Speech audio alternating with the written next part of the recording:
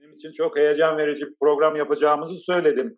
Ee, beş, beşinci programımız ancak e, bugün bir sanatçıyla beraberiz.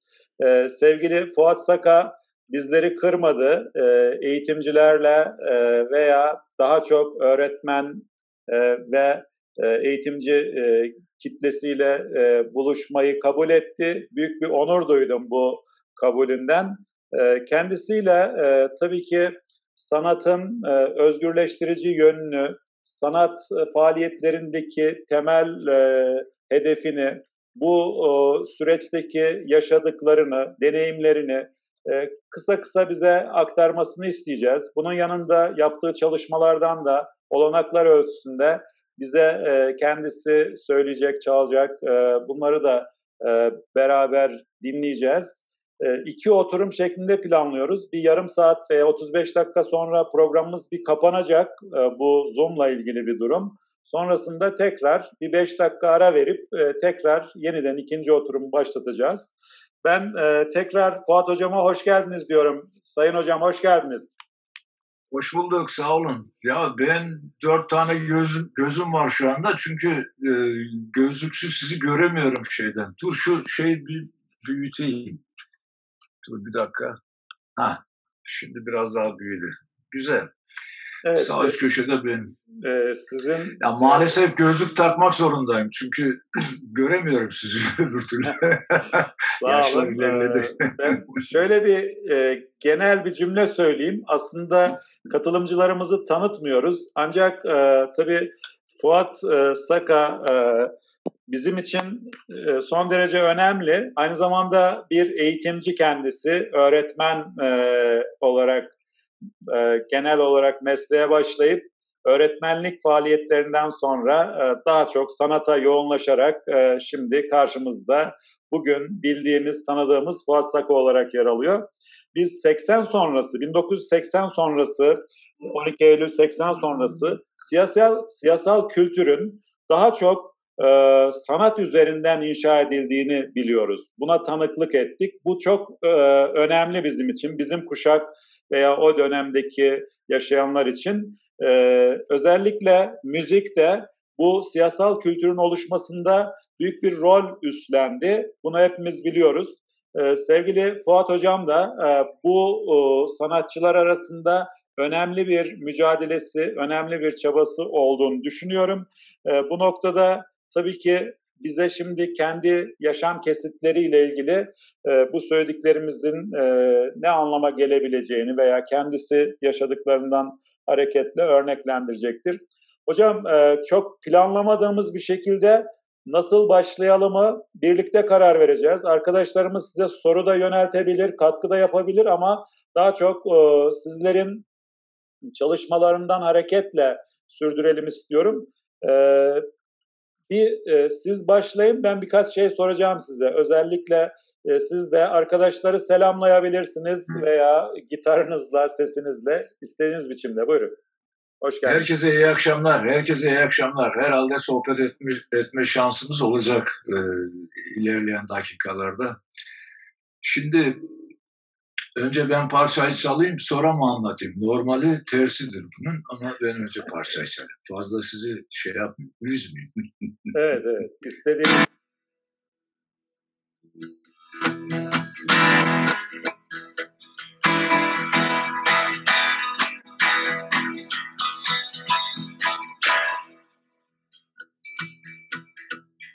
Kıyıdaki ışıkta sabah olacağız Kıyıdaki ışık sabah olacağız Eski tavrım bugün de kaybanla geleceğiz Bir de kaybanla geleceğiz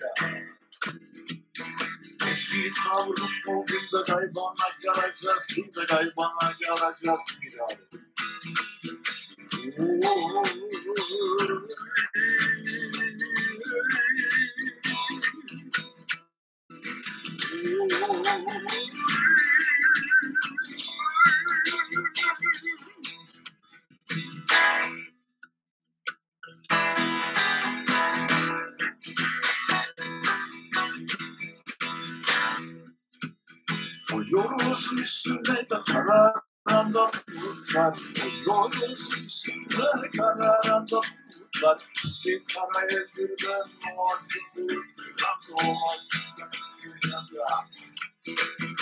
Yukarıya boğazın sularıyla boğazın sularıyla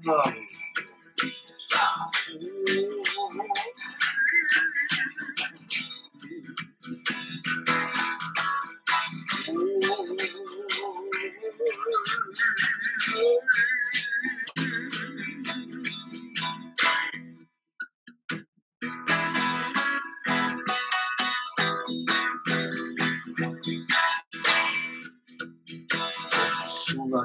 Doğasın sular ilan Suları doldu da kayığımın içine Suları doldu kayığımın içine Yatılmış atlar tamam mı bu dünyada hiç kimse bu dünyada hiç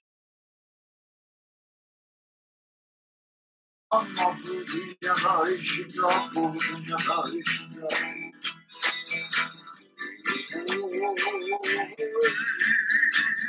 kaçamadık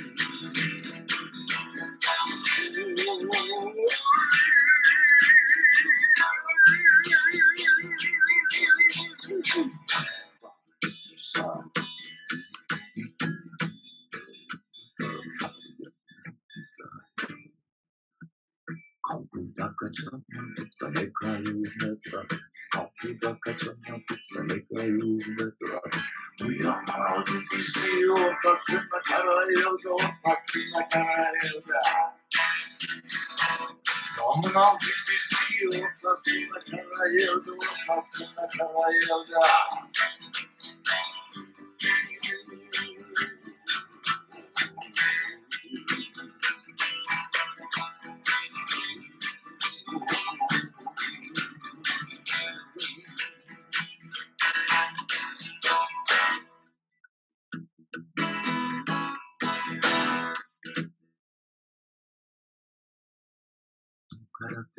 ortasında karayıldı Damın aldı bizi ortasında karayıldı ortasında karayıldı Karadeniz yoktu suların Hep Karadeniz yoktu suların Yürüyle kaptanı daldı verme gitti daldı verme gitti Yürüyle kaptanı daldı verme gitti daldı verme gitti Ayıyla kaptanı daldı verme gitti daldı verme gitti daldı Çok teşekkürler ee, sevgili hocam. Tabii ki e, bu bu e, çalışmanızın e, bir arka planı var. E, sizin çocukluğunuzda, ilk gençliğinizdeki tanıklıklarınızdan oluşmuş bu duygulanım e, tarafını da kısaca bize söyleyebilirseniz çok mutlu olurum. Yani bunun bir öyküsü olmalı tabii. Buyurun. Tabii bunlar şimdi kafadan yazılmış şeyler değil, gerçekten değil. Ee, kaç işte yılı söylersem yaşım ortaya çıkar. Ben aslında milattan önce 3000'de doğdum. Yani 3000 yaşındayım. Şimdi hadi bin de buradan ekleyelim, 2000'de 5000. Şimdi tabii şakasın ama ilkokula e, gidiyorum ama kaçıncı sınıf vallahi bilmiyorum onu. İşte ya üçüncü ya dördüncü sınıf olabilir. Kalktım e, sabah e, okula gideceğiz. Üstüm başımı giymeye çalışıyorum.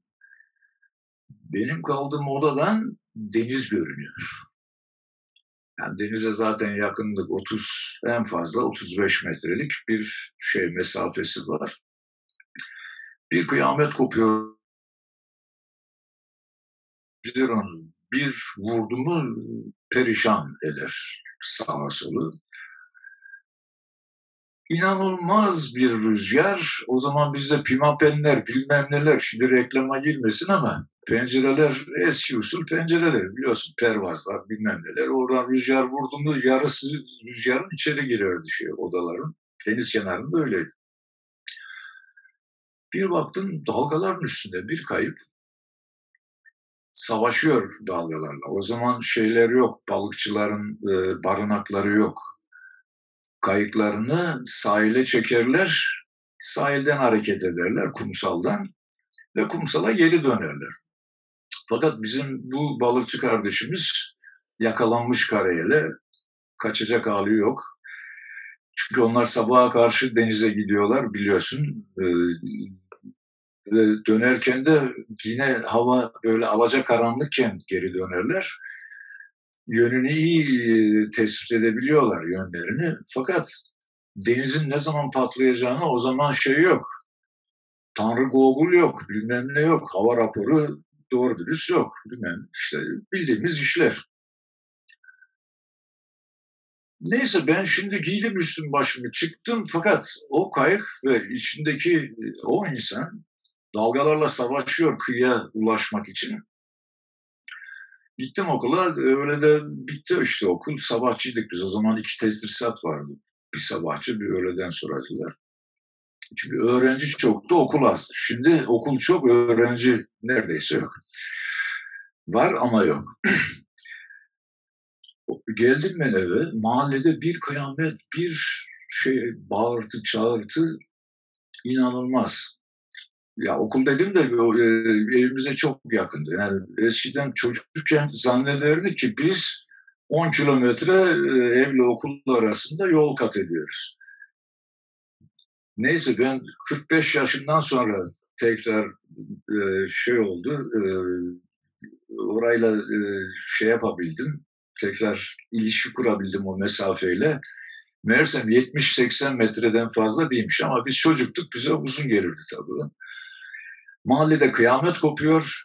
O gün o balıkçı kardeşimiz, o denizci kardeşimiz orada hayatını kaybediyor. Alaboru oluyor çünkü şeyde dalgalarda. Orada dalgalar sahilde tabii çok keskin ve sert. O oluyor, ölüyor. Onun üzerine e, aradan kaç yıl geçti? İşte 40 yaşında ne olurum ben? İşte 30 yıl, 35 yıl diyelim. 35 yıl sonra o hikayeyi işte bu e, sözlerle müziklemeye çalıştım. Çok ağzınıza sağlık. Ay bu. Sağlık. Çünkü e, emekçi e, insanların mücadelesini tabii ki tanıklık etmeniz, onları sanatla e, büyük kitlelere aktarmanızın da e, son derece önemli olduğunu düşünüyorum. E, biraz önce söylediğim gibi biz e, buradaki yaptığımız çalışmaları birbirine çok yakın eylemler olarak görüyoruz. Eğitimciler, öğretmenler veya farklı e, alanlarda çalışanların hepsinin e, temel ortak bir hedefimiz var daha eşitlikçi, daha adaletli, daha özgür bir e, ortamda, bir dünyada yaşayabilmek. Siz de bunu güzelleştiren, evet. buna katkı yapan çalışmalarınızla varsınız. Tekrar sizi kutluyorum. E, sağ olun. Teşekkür ederim. E, bu, ben de sizi kutluyorum. çok teşekkürler. Bu e, olayın geçtiği yeri söylemediniz. E, söylemeniz... Burası e, e, Sotka ile Faroz mahallesi vardır Trabzon'da. Bu sur dışıdır. Surun dışındadır bunlar. O da bir ayrı hikayedir. Hikaye değil, gerçektir. Evet. Trabzon'da iki tane sur vardır biliyorsunuz. Bu Bizans ve Pontus imparatorlukları o iki sur İşte o mahallelerden bir tanesi Sotka, birisi de bitişik mahalle Faros. Ee, ben Sotkalıyım ama Faroz'la sınırdayız böyle. Ee, orada büyüdüm. Ee, şeyler tanıyanlar e, bilirler. Trabzonspor'un çok meşhur futbolcuları da o mahallelerden çıkmıştır. O iki mahalle. Tabii ki şeyler Suriçi dediğimiz yerlerden de futbolcular vardı ama genellikle işte Ali Kemal'lerden, Necatilere, Necatilerden işte vesaire falan o mahalleden çıkmışlardı. Yani orada doğup büyümüşler. Sizin e, futbolla, yüzmeyle, o dönem resimle, müzikle yani ilk gençlik yıllarınızda tanışıklığınız, yoğun bir iştigaliniz de söz konusu. Yani bunlar da çok önemli. E, dönemin dönemi anlamak için de aslında toplumsal dönüşümümüzü de sizin hayatınız üzerinden biraz konuşmak gerekiyor.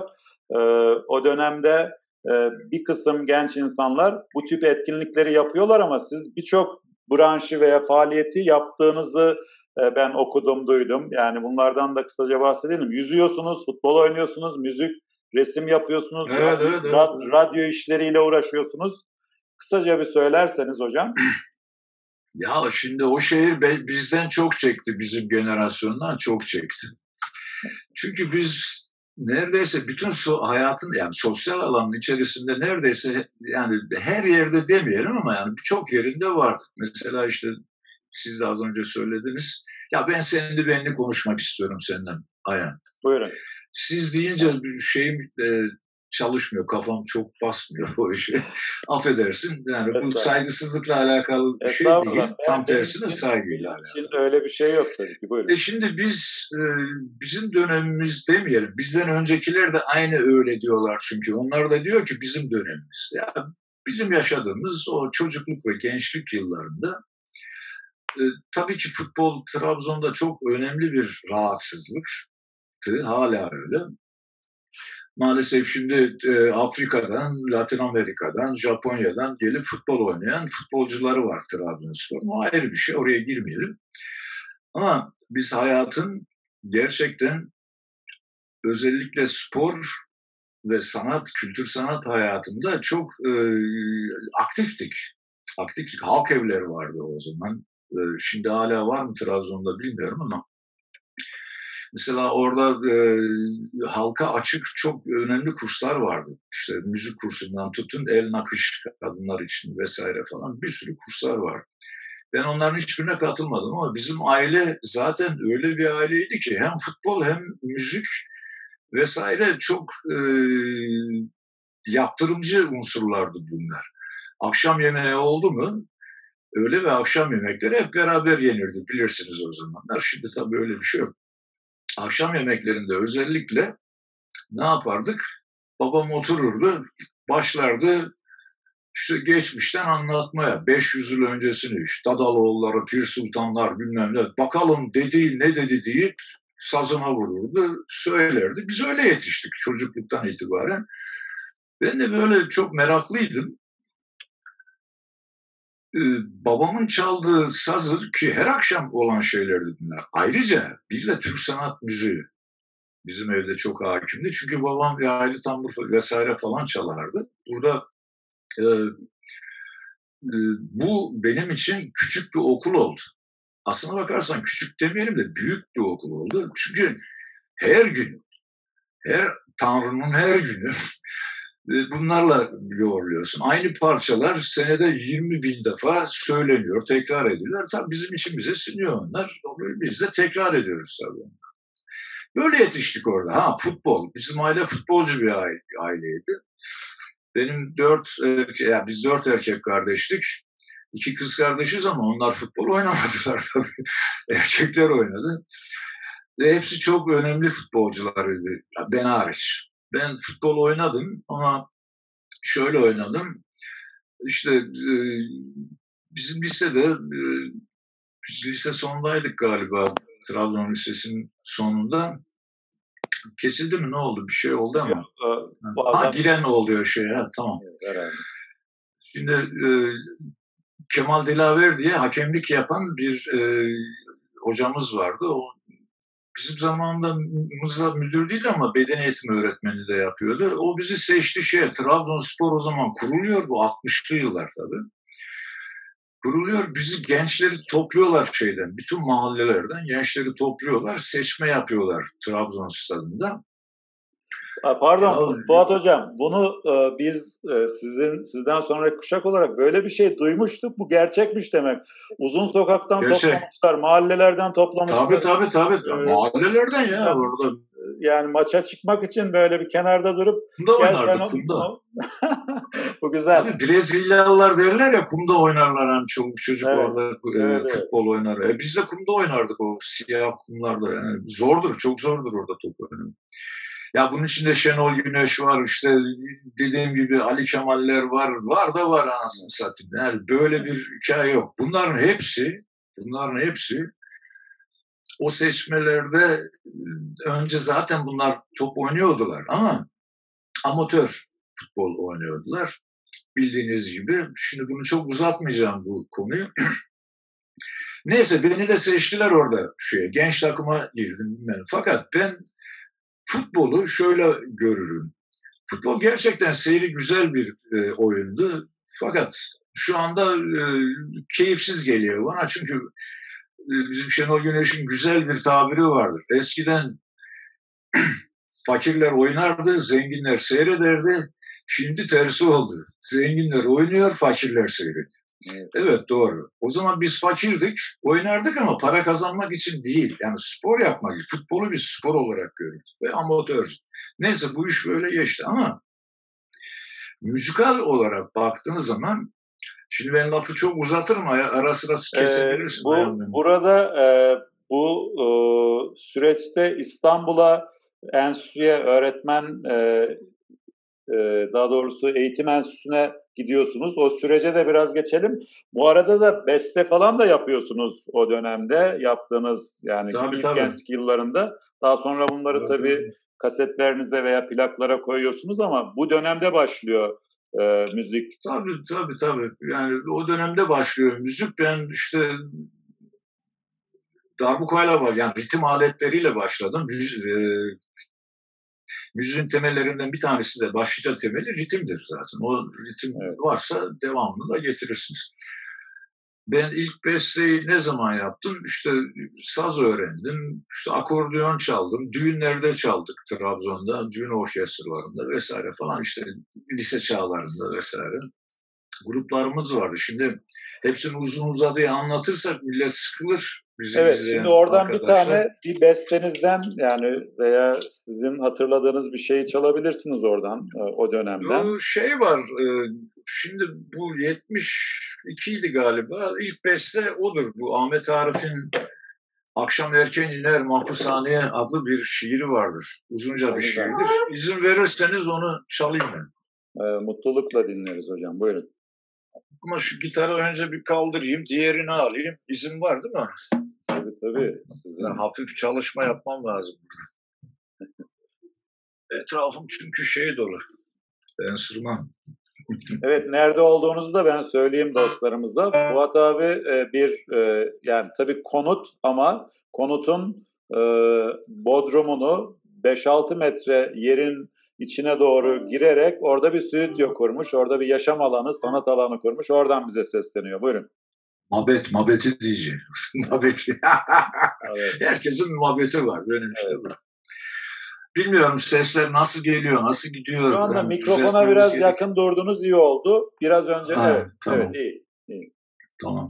Konuşurken şey yapmak istemedim. Böyle fazla yaklaşmak evet. istemedim. Ahmet Arif'in bu benim yaptığım ilk bestedir. Valla dinleyenlerin beğenisine sunarız. Seven olur, sevmeyen olur. Onlar ayrı şeyler ama bu benim ilk bestem. Ne yapayım ya?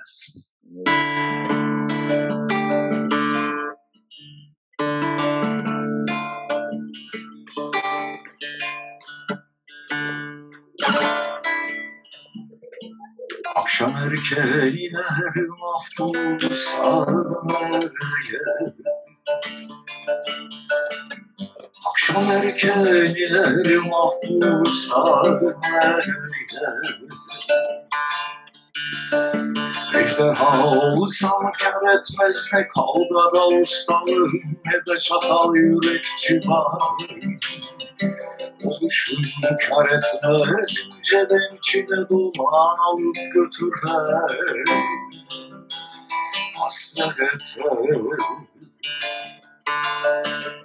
Akşam erken yer mahpus sarmayı Akşam erken yer mahpus sarmayı Nerede o demiri gidip kapıya birden Ağlamaklı olur bahçe. Karşıda duvar dibinde Gölgemden arası var çayime çöl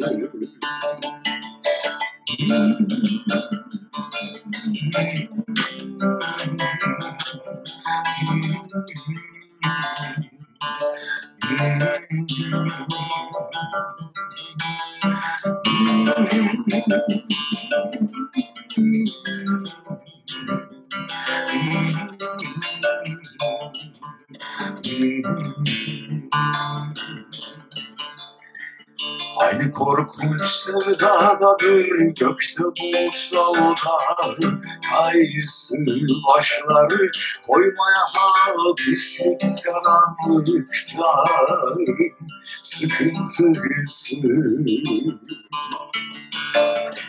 Kürdün gelini söyler Malta'da biri bense. Volta'dayım Ramza dibinde Ve hep olmayacak şeyler kurarım Gün çacemi çocuksun. Gün çacemi çocuksun. Vurulsam kaybolsam derim çırılçıplak biri Kavgada erkek. Şey olsun isterim dostlukta düşmanlıkta hiçbir bir olmaz o ki geçersin güler Hamdoluyar Başlar gece devriyesi jandarma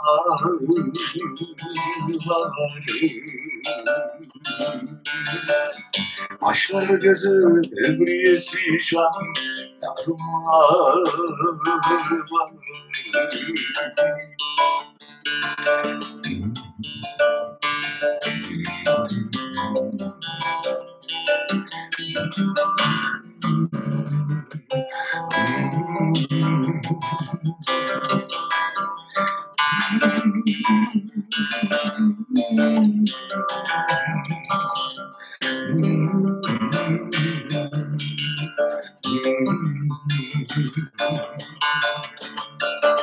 Hırsa çakar bir gibi bir çıkaran bir duman. Alırım bir duman kendimi Öldüresiye. Biliyorum sen de mi diyeceksin ama Akşam erken iniyor mahpushaneye Ve dışarıda delikanlı bir bahar Seviyorum seni çudrasıya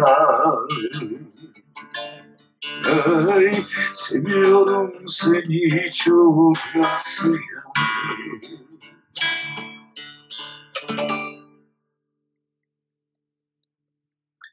Evet, çok teşekkürler. Ee, zihninize, elinize sağlık, ağzınıza sağlık. Tabii ki Ahmet Arif'i de saygıyla anıyoruz. Ee, bu sizin o dönemde yapmış olduğunuz bu çalışma daha sonrakilerin de habercisi olmuş tabii. Buradan hareketle belki e, hemen akabinde e, şeyi de ekleyebilir miyiz sevgili hocam?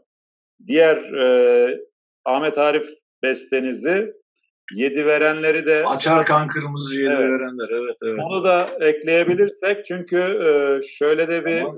uyarımız var. 5 dakika sonra e, Tamam. bu ilk 40 Kısa dakika kesim tamam. yok 5 dakika sonra Ya bu bu şiirler uzun kıs, e, kısaltamam ne yapayım? tabii ki. Evet. Açarkan kırmızı yedi verenler Ve kar yağar bir yandan savrulur karaçada Savrulur omuzlar Baklıyım buz tuttu üşüyorum Semeride uzadıkça uzardı.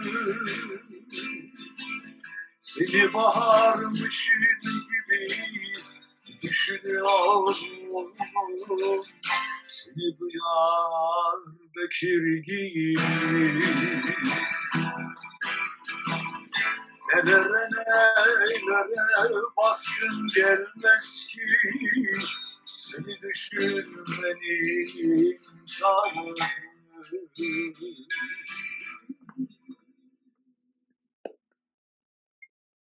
Çok teşekkürler. E, ağzınıza sağlık sevgili hocam. Ee, şimdi tabii e, yine gitar e, hazır varken belki devam ederiz. E, bir dört dakikamız var. Şöyle yapalım. Siz İstanbul, İstanbul'a e, eğitim enstitüsüne e, öğretmenlik eğitimi almak için geliyorsunuz ve orada resim öğretmenliği, e, resim iş öğretmeni olarak Anadolu'nun bir e, ortalarında bir e, lisede öğretmenliğe başlıyorsunuz. Oradan da kısa bir birkaç şey, anekdot bize söylerseniz hem yeri hem oradaki ilişkileri e, söyleyebilirsiniz istediğiniz gibi. Buyurun. Tabii o çok uzun şeyler tabii. İki cümleye zor sığdırılır da ben Ahmet Arap değilim, Nazım Hikmet hiç değilim. Yaşar Kemal hiç değilim. Mümkün olduğu kadar kısa anlatmaya çalışayım. E tabii bizim o dönemde aldığımız öğretmenlik eğitimi aslında orası geçen de söylemiştim ben sana. Eğitim enstitülerin küçük bir devam şey neydi o köy, köy enstitülerinin küçük bir devamıydı yani. Biz çünkü sadece resim görmedik orada. Bir sürü atölyeler işte. Yani bir resim iş öğretmeni ne, ne gerekiyorsa onları gördük. Ürgüp Lisesi'ydi orası. Ben orada 3 yıl öğretmenlik yaptım. Bana göre başarılıyım. Ama şöyle bir şey vardı. O zamanlar şimdi bu tayin edilemeyen öğretmen arkadaşlar beni affetsinler. Gerçekten affetsinler. Onlar için son derece e, üzgünüm. Üzgün olmak yetmiyor, kızgınım. Bir de çok kızgınım. Çünkü insanlar okullarından mezun oluyorlar fakat tayin hakkı elde edemiyorlar. Yani okula başlayamıyorlar, mesleklerine başlayamıyorlar. Evet. Bu çok acı verici bir şeydir. Biz o zaman kurayla beraber mezun olan herkes gidip kura çekiyordu. İşte bir okul çıkıyordu oraya. Beğenirsin beğenmez ama çıkıyordu bir okul gidip çalışıyordun. Öyle bir dönemdi. Daha ne anlatayım bilmiyorum ama şimdi biraz daha anlatırsam zamanı Yok, yemiş e, Tabii yani ki. Şöyle şöyle yani ben tabii çok mutluydum ama tabii o dönem çok e, sancılı bir dönemdi. İnsanlar sokakta sağda solda öldürülüyor, vuruluyor, karma karışık bir ortam vesaire. Öğretmenler e, katlediliyor. Yani faşizme karşı verilen mücadelenin tam ortasındaydık biz de orada. İster istemez öyle oluyorsun. Çünkü kendi, önce kendini savunuyorsun bir. İkincisi ait olduğun ülkenin bir ferdi olarak o ülkenin insanların yaşam haklarını savunuyorsun, özgürlüklerini savunuyorsun ki dünyada özgürlükten daha büyük herhangi bir mutluluk yoktur. Yani erdemlilik yoktur. Şimdi bu yüzden e, biz vallahi e, her türlü kendimizi bu işe verdik, adadık. Onun Bunun, sonuçları da belli e, bir, bir cümle de ben ekleyeyim buraya sevgili hocam izninle. E, tabii şimdi kitaplarda yani işin teorik tarafında biz e, dönüştürücü entelektüel öğretmen, devrimci öğretmen diyoruz. Toplumsal a, önder diyoruz. E, evet, Bunlar evet, tabii ki bizim biraz kitaplarda e, gördüğümüz ama sizin birebir icra ettiğiniz, yaşadığınız bir süreçte gerçekleşti. E, bu katkılarınız için size çok teşekkür ediyorum. Yani oradaki mücadele tabii Türkiye'nin aydınlanması açısından veya Cumhuriyet aydınlanmasının da e, önemli evet, bir evet, evet, önemli evet. bir devamıydı. Şimdi e, sanırım bir kesil kesileceğiz ve sonra 5 dakika e, ara verdikten sonra yeniden hep beraber birlikte olacağız. E, Böyle Tamamdır. bir durum söz konusu. Evet kesiliyoruz. 5 dakika sonra tekrar birlikteyiz. Yaşasın. Nefes alalım. Başlıyorum. Tekrar e, ikinci bölüm için e, hoş geldiniz. E, arkadaşlarımız döndüler. Dönenler oluyor. Ben onları tekrar kayda alıyorum. E, siz de e, bir e, arkadaşlarımız Ula Ula Ula Ula e, Karadeniz'de? Yani Ula Ula e, e, Ula Ula'nın da bir şeyi var herhalde. E, dal... E var tabii ya olmaz olur mu? Ya şimdi Evet kumsalda şimdi Trabzon'da tabii bizim dedim ya bizim mahalle e, Yalı Mahallesi deriz biz. Yani biz Yalı'nın çocuklarıyız. Evet. İşte balıkçılar, biz vesaire. Ben balık tutmadım hiç hayatımda. Belki iki tane tutabilmişimdir o kadar. Yani balıkçı değilim. Ama balıkçılar bol olan bir yer. Fakat çok ilginç bir şey. E, Ayan, Sotka mahallesinden çok balıkçı yoktur. Asıl balıkçılar Faroz mahallesindedir. Tabii. Yani öyle de bir şey var. Barınak da orada Şimdi, bildiğim kadarıyla. Barınak, tabii barınaklar barınak da orada. Tabii tabii. Şimdi bu ula ula nereden kaynaklandı? Bak şimdi. Şimdi yaz ayları geliyor. Biz herkes gibi Ege kıyılarına, Akdeniz kıyılarına gidecek halimiz yok. Hem genciz, paramız yok, paramız yetmez. Bir de yol iz doğru dürüst bilmeyiz vesaire vesaire. Geçtik onları. Havlumuzu alıp giderdik bizim sahile, kumsala siyahtır kumları biliyorsun bizim orada. Evet. Navlumuzu sererdik. Ya güneş vuruyor. O arada bir bulut geliyor. Güneşi kapatıyor. Allah Allah ya. Senin olduğun yerde güneş yok. 10 metre öbür tarafta güneş var. Ondan sonra havlumuzu alırdık getirirdik o güneşli tarafa. Devamlı öyle gezdirirdik abi. Bir de o arada bir dalga çıkar. Karayel bir vurur. Böyle yani yaz karayeli tabii öyle fırtına şeklinde değil ama dalga gelir. Ula ula ula ula kaç kaç döndük birbirimize. Niye biliyor musun? Havlu ıslanmasın diye. Evet. Havlular ıslanıyor çünkü orada dalga vuruyor. Ula ula ula deniz geliyor kaç döndük. Oradan çıktı yani bu ula ulanın hikayesi. Oradan güzel bir şarkıya, güzel besteye tabii dönüştü. Biliyorum, biliyorum. Biz biliyoruz.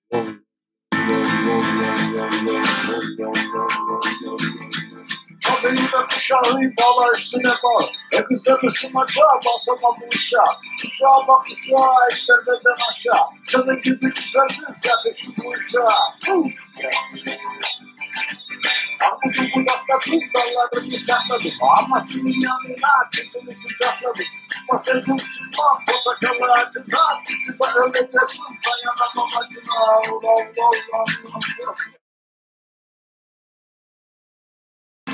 Oy, oy, oy,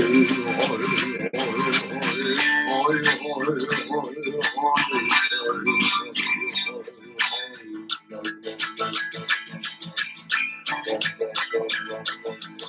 Kızını kucakladım Çıkmasaydım çıkmam portakal ağacından Düşüp öleceksin dayanamam acına Allah Allah Allah Allah Akba beni yapan hamdala bilereli Marbu beni koyunda istiyorsan eledi Yere ama bakı tokalı kırıkalı Hissedim ama bu var nefreti sevdalım Çıkmasa dur çıkma portakal ağacında Acı suda öleceksin dayanamam acına Ay vurur rende rende ay tuta enede Gece bekliyorsa yer koynuma girende Long long long long long da Long long long long long da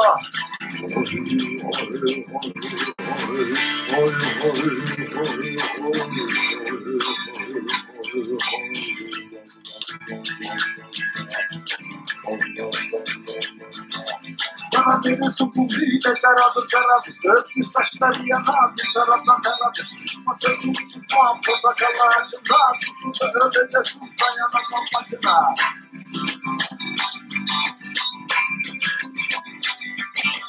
Kıvılcımın telini kesip bekleyin Bekleyin yedi sene daha bekleyin Ama piyasında değil ben üşüdüm üşüdüm Ben bu hafta rüyamda yarın tek oynadım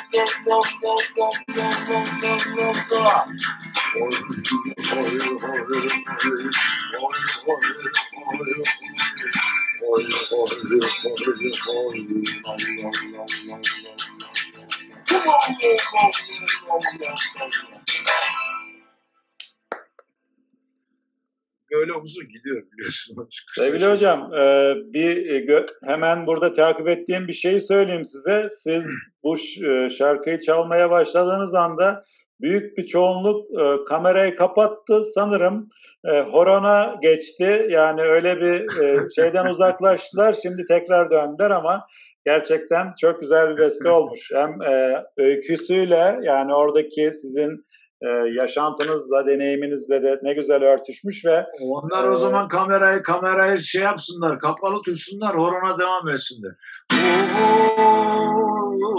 kurbanı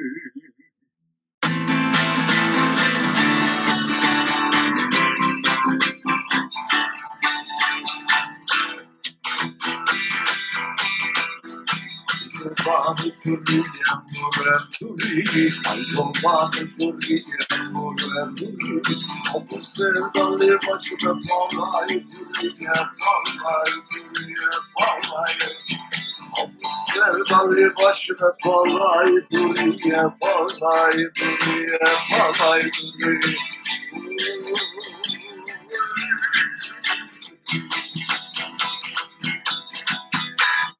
Evet kısa bir oran daha yaptık.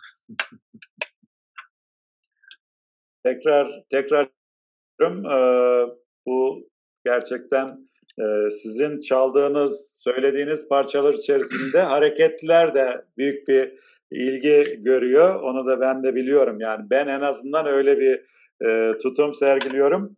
Ve e, Fuat Saka tabii ki o söylediğimiz e, siyasal mücadelenin en yoğun olduğu e, dönemlerde e, yolu e, Almanya'ya, Hamburg'a, Köln'e, Berlin'e, oradan Fransa'ya, Paris'e, Danimarka'ya, Kopenhag'a, Avrupa'nın birçok kentine ve farklı kişilerle, insanlarla, kültürlerle temas edip orada da sanatını üretiyor, kendini üretiyor.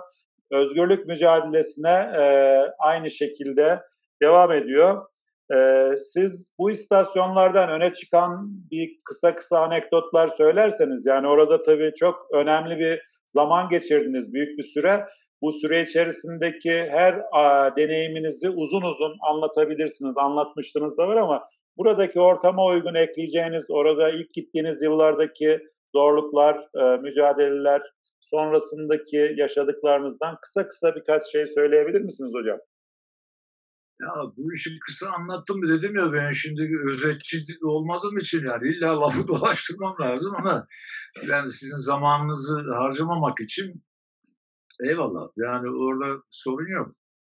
Nedir? Evet. 12 Eylül bizi dağıttı. işte sağa sola e, serpildik, dağıldık. E, o dönemin e, demokrat, özgürlükçü insanlarıyla. Bana da işte Avrupa düştü.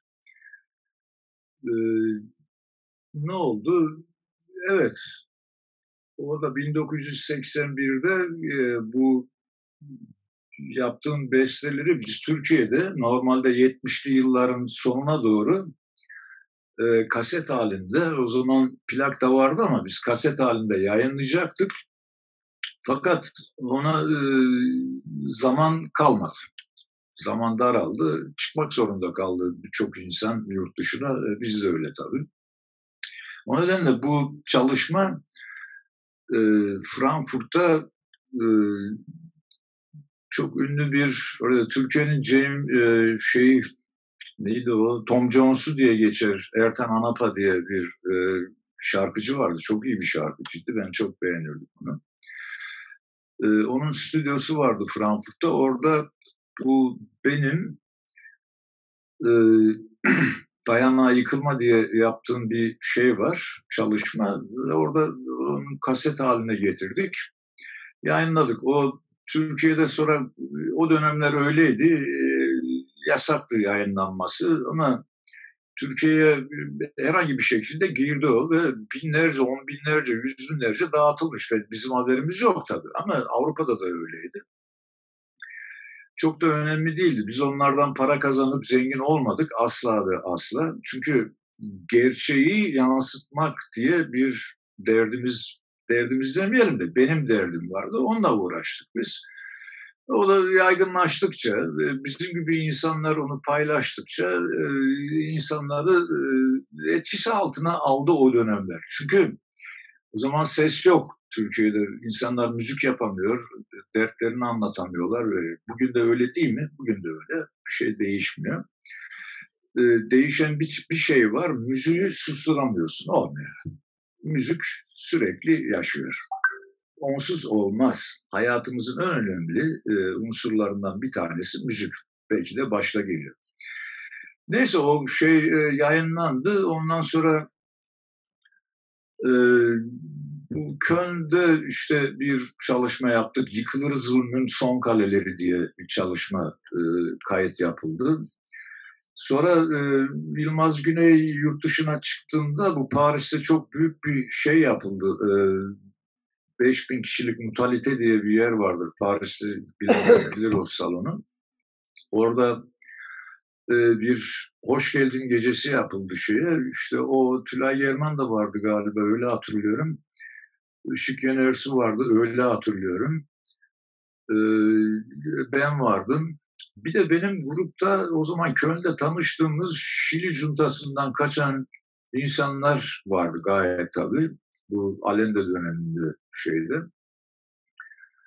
Ee, oradan bir tane kız çocuğuyla tanıştık. Yani genç bizim yaşlarda birisi. Onu Köln'den aldık, Paris'e gittik. O da bize gitar çaldı Che Guevara'yı. Komandante Che Guevara'yı söyledi bizle beraber. Bize eşlik etti vesaire falan. Böyle bir geceydi o. Sonra ben Paris'te kaldım. Ama onun öncesinde bu şeyde e, Kopenhagen'da bizim gazeteci Ferruh Yılmaz diye Cumhuriyet Gazetesi'ne o zaman yazılar yazardı şeyden e, Kopenhagen'dan. Onunla tanıştık. Aynı ekipteniz. O bana Klaus Matiz'ini tanıştırdı. O iki metrelik adamı. iki metre beş santim adam. Yataklara sığmayan adamı. Onunla beraber biz e, işte bir ekip kurduk. İşte bir cellocu Thorsten Henneberg diye Hamburglu. Onunla beraber üçümüz trio yaptık. Ben gitara başladım o zaman. Gitar çalmaya başladım. İşte gitar, cello ve klarnet çok iyi üçlüdür bu. Biz senelerce beraber çaldık onlarla. Çalarken e tabi araya girip çıkan e, çok çeşitli müzisyenler oldu. Dünyanın her yerinden müzisyenler geliyor. Örneğin Kamerun'dan bir e, kontrbasçı bir arkadaş vardı Andy diye. O Köln'de e, müzik yüksek okulunda okuyordu. Onunla tanıştık. Ondan sonra onu kattık şeye, e, orkestraya. Ona bir buçuk iki yıl çalıştık. Fakat Almanlar okulu bitince onu geri yolladılar ülkesine. Devam edemedik o çalışmalara. Onun gibi o kadar çok e, çok kaliteli, çok iyi insanlarla e, güzel e, müzikler yapmaya çalıştık.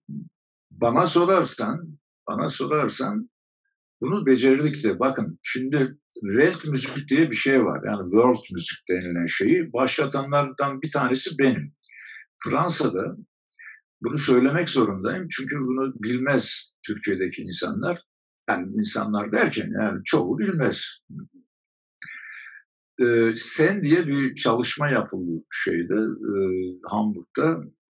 İşte orada e, aşağı yukarı Danimarka'dan 3, işte Almanya'dan 2, işte Fransa'dan üç tane sanatçının katıldığı bir çalışmaydı. O inanılmaz bir çalışmadır o benim için. Ben çok severim. Çünkü canlı çaldık onu. Yani stüdyoda oturduk. Öyle şimdiki gibi kes, biç, yapıştır öyle şeyleri yok. Adam gibi oturduk çalıştık şeyde stüdyoda. İki prova, üç prova çaldık olmadı bir daha çaldı. Arka arkaya 4-5 defa çalıp en iyisini seçtik. Öyle bir çalışmaydı o ve dünya müziğine çok büyük katkısı oldu. Evet. Ve orada bir parça vardı. Dazlak diye. Dazlak e, şu. Bu orada neonaziler kafalarını kazıtıp işte öyle gezerlerdi ve onlara karşı yazılmış bir parçaydı o. o, o parçanın giriş bölümünü, introsunu Sonra aldı Türkiye'den birileri, isimleri kalsın. Eurovision'da birinci oldular. Neyse o da işin ayrı hikaye tarafı. Ama biz bu işi devam ettirdik orada. Hala da devam ediyor. Herbert katıldı tabii Hamburg'dan. Senin evet. tanıdığın Herbert. Yan flüt, saksafon çaldı bize. Ondan sonra Amerikalı bir şey vardı. Bizden yaşlıydı, çok yaşlıydı. İrlanda asıllı bir Amerikalı arkadaşımız Robert'tı galiba adı. Tabii Robert'tı. O bizden kısa çaldı. Öldü çünkü çok yaşlıydı. 80 küsur yaşlarındaydı sahneye çıkıyordu bizden. Şimdi ben bağlıyorum olayı. Bağlayın. Oradan oradan bir tane eser e, varsa tabii o döneme ait o dönemlerden. Ya şey, o döneme tabii. ait bakıyorum şimdi ben bir liste hazırladım burada da. Oraya veya bu o, hancı var, hancı var ha. Hancı var. Dur, onu çalar. Şey bu kenardaki ray hikayesi. Evet. Onu... İstersen onu bir anlatayım mı? Onu Bilmiyorum. anlatmak lazım. Ee, şöyle bir ben bir giriş cümlesi söyleyeyim oraya izninle. Öbür şey bitti mi? Bence de o önemli bir şey çünkü bu Nazi döneminin e, Fuat e, hocamızın e, çok önemli bir çalışması benim için yani ben çok önem verdiğim bir çalışma. Kenardaki Ray diye bir gözlemi var Almanya'da kaldığı sürede, yaşadığı sürede. Bir ayrımcılık e, olgusunu, bir toplumsal dışlanmayı veya ırkçılığı e, oradaki gözlemleriyle ortaya koyuyor ve bunu e, yaptığı çalışmaya da isim olarak veriyor. Kenardaki Ray. Hocam o kenardaki Ray olgusu, evet. durumu, sizin gözleminiz nedir? Nasıl oluştu? Nedir? Buyurun. Kenardaki ray aslında şu, Almanların istasyonları, tren istasyonlarının asıl tren istasyonlarının yanında e, şeylerle e, kapattıkları yani e, tren istasyona giren, giren insanların görmemesi gerektiği için kapattıkları onun yan taraflarındaki şeyler, bu tren yolları. Neden? Şundan dolayı topladıkları Yahudileri çingeneleri, işte homoseksüelleri vesaire o trenlere koyup toplama kamplarına yolladılar. Yani ölüm kamplarına yolladılar. Orada da şehirdeki insanlar bunu fark etmiyorlar. Düşünebiliyor musun? Yani. Bu çok önemli bir şey. Almanlar ona Nebengleis der. Gleis orada şey, tren yolu. Tren yolu, Gleis. Evet. Nebengleis. Evet. Evet. Bu, e, onunla ilgiliydi şey o plak yapılmıştı o evet. 88'de yapmıştım ben onu Devin Glass yani kenardaki ray denilen hikayenin içerisinden e, zorunlu işçiler diyelim biz onlara, ekonomik işçilerin hayatıyla ilgili de şeyler. Yani oraya gidiyorlar, 2-3 sene çalışacağız, geri döneceğiz ev yapacağız, bark yapacağız, yerleşeceğiz ama hiçbiri doğru dürüst dönemeden orada çoğu da hayatını kaybediyor biliyorsun. Yani evet, oy beni çalıştı. Evet, oy beni e, şeysini eğer olanaklıysa abi bu tam yıkılır zulmün son kareleri e, çalışmanızın içerisinde. E, evet.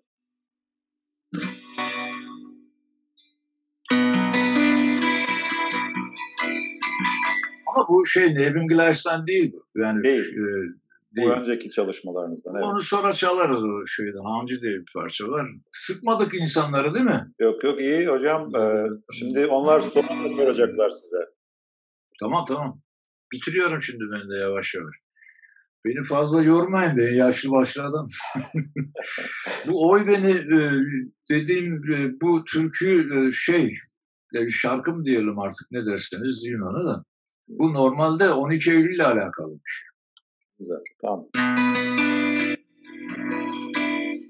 Kan yükü günde gün dolarda gider Kan yükü günde gün dolarda gider Dert biri değil bir öldürüler Dert biri değil bir öldürüler Oy beni beni beni öldürüler ne hal etti bana şu zalim Ne hal etti bana şu zalim felek Hep biri değildi öldürür beni Oy beni öldürür beni gelir elbette döner bu devran Gelir gün gelir döner bu devran Yıkılır zulüm son kademeler Yıkılır sonu Son Oy beni beni Öldür beni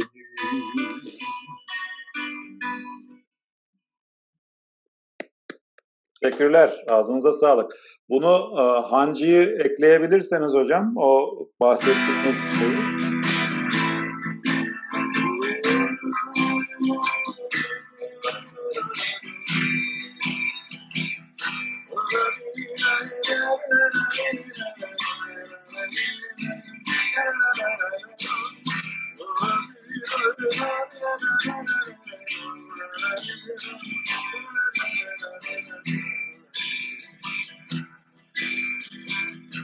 Öykü uzun yıllar önce varmışlar Genç üzül çökmüş vagonlarına Bitiren umutlar doğru yola Benim içimde bir gurbetlik yolcu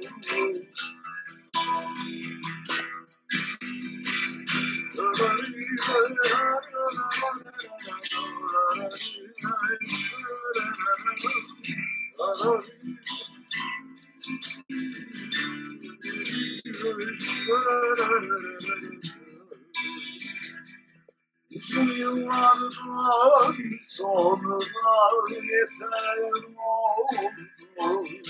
Gezdim dolaştım ben son sana döndüm Bu sakat gençliği heder olmuş Sen zalim hancısın Ben yolda yolcuyum.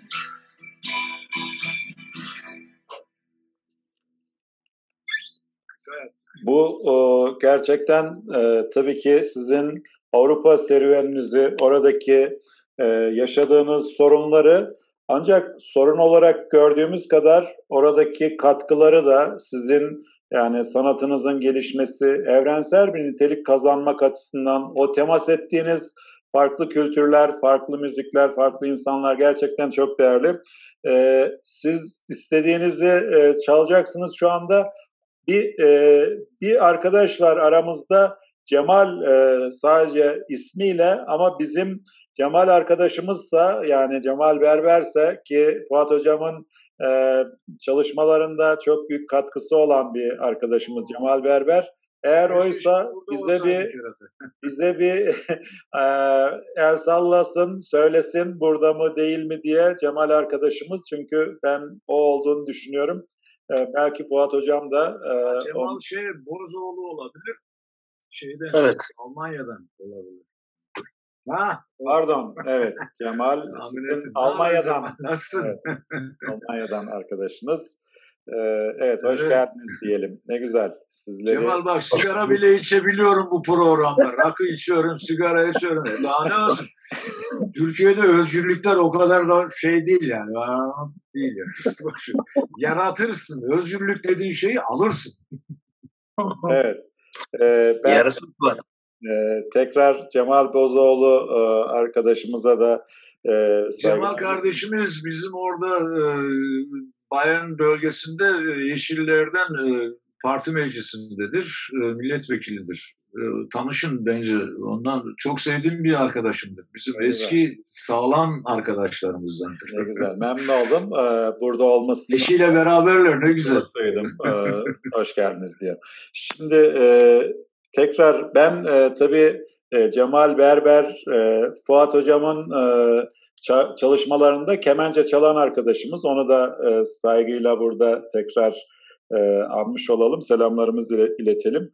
E, Fuat Hocam bu o, Avrupa'dan e, dönüş yani Türkiye'de tabii vatandaşlıktan çıkarılır sonra tekrar yasal düzenlemeler ve Türkiye döndükten sonra e, Yunanistan'da da bir, bir süre oradaki e, sanatçılarla, dostlarla bir e, konser süreciniz var. Kısaca Yunanistan'daki çalışmalarla ilgili bahsedip oradan da sanırım Civari'yi e, eklerseniz mutlu oluruz. Ekleriz ekleriz ya o sorun değil ya. Ya şimdi bu e, yani buradan yapabildiğimiz kadar müzik yayını yapabiliyoruz biliyorsunuz onu. Yani Tabii, bu bir konser var. değil asla değil ama bu bence çok da değerli benim için. Çok daha değerli. Şundan dolayı değerli.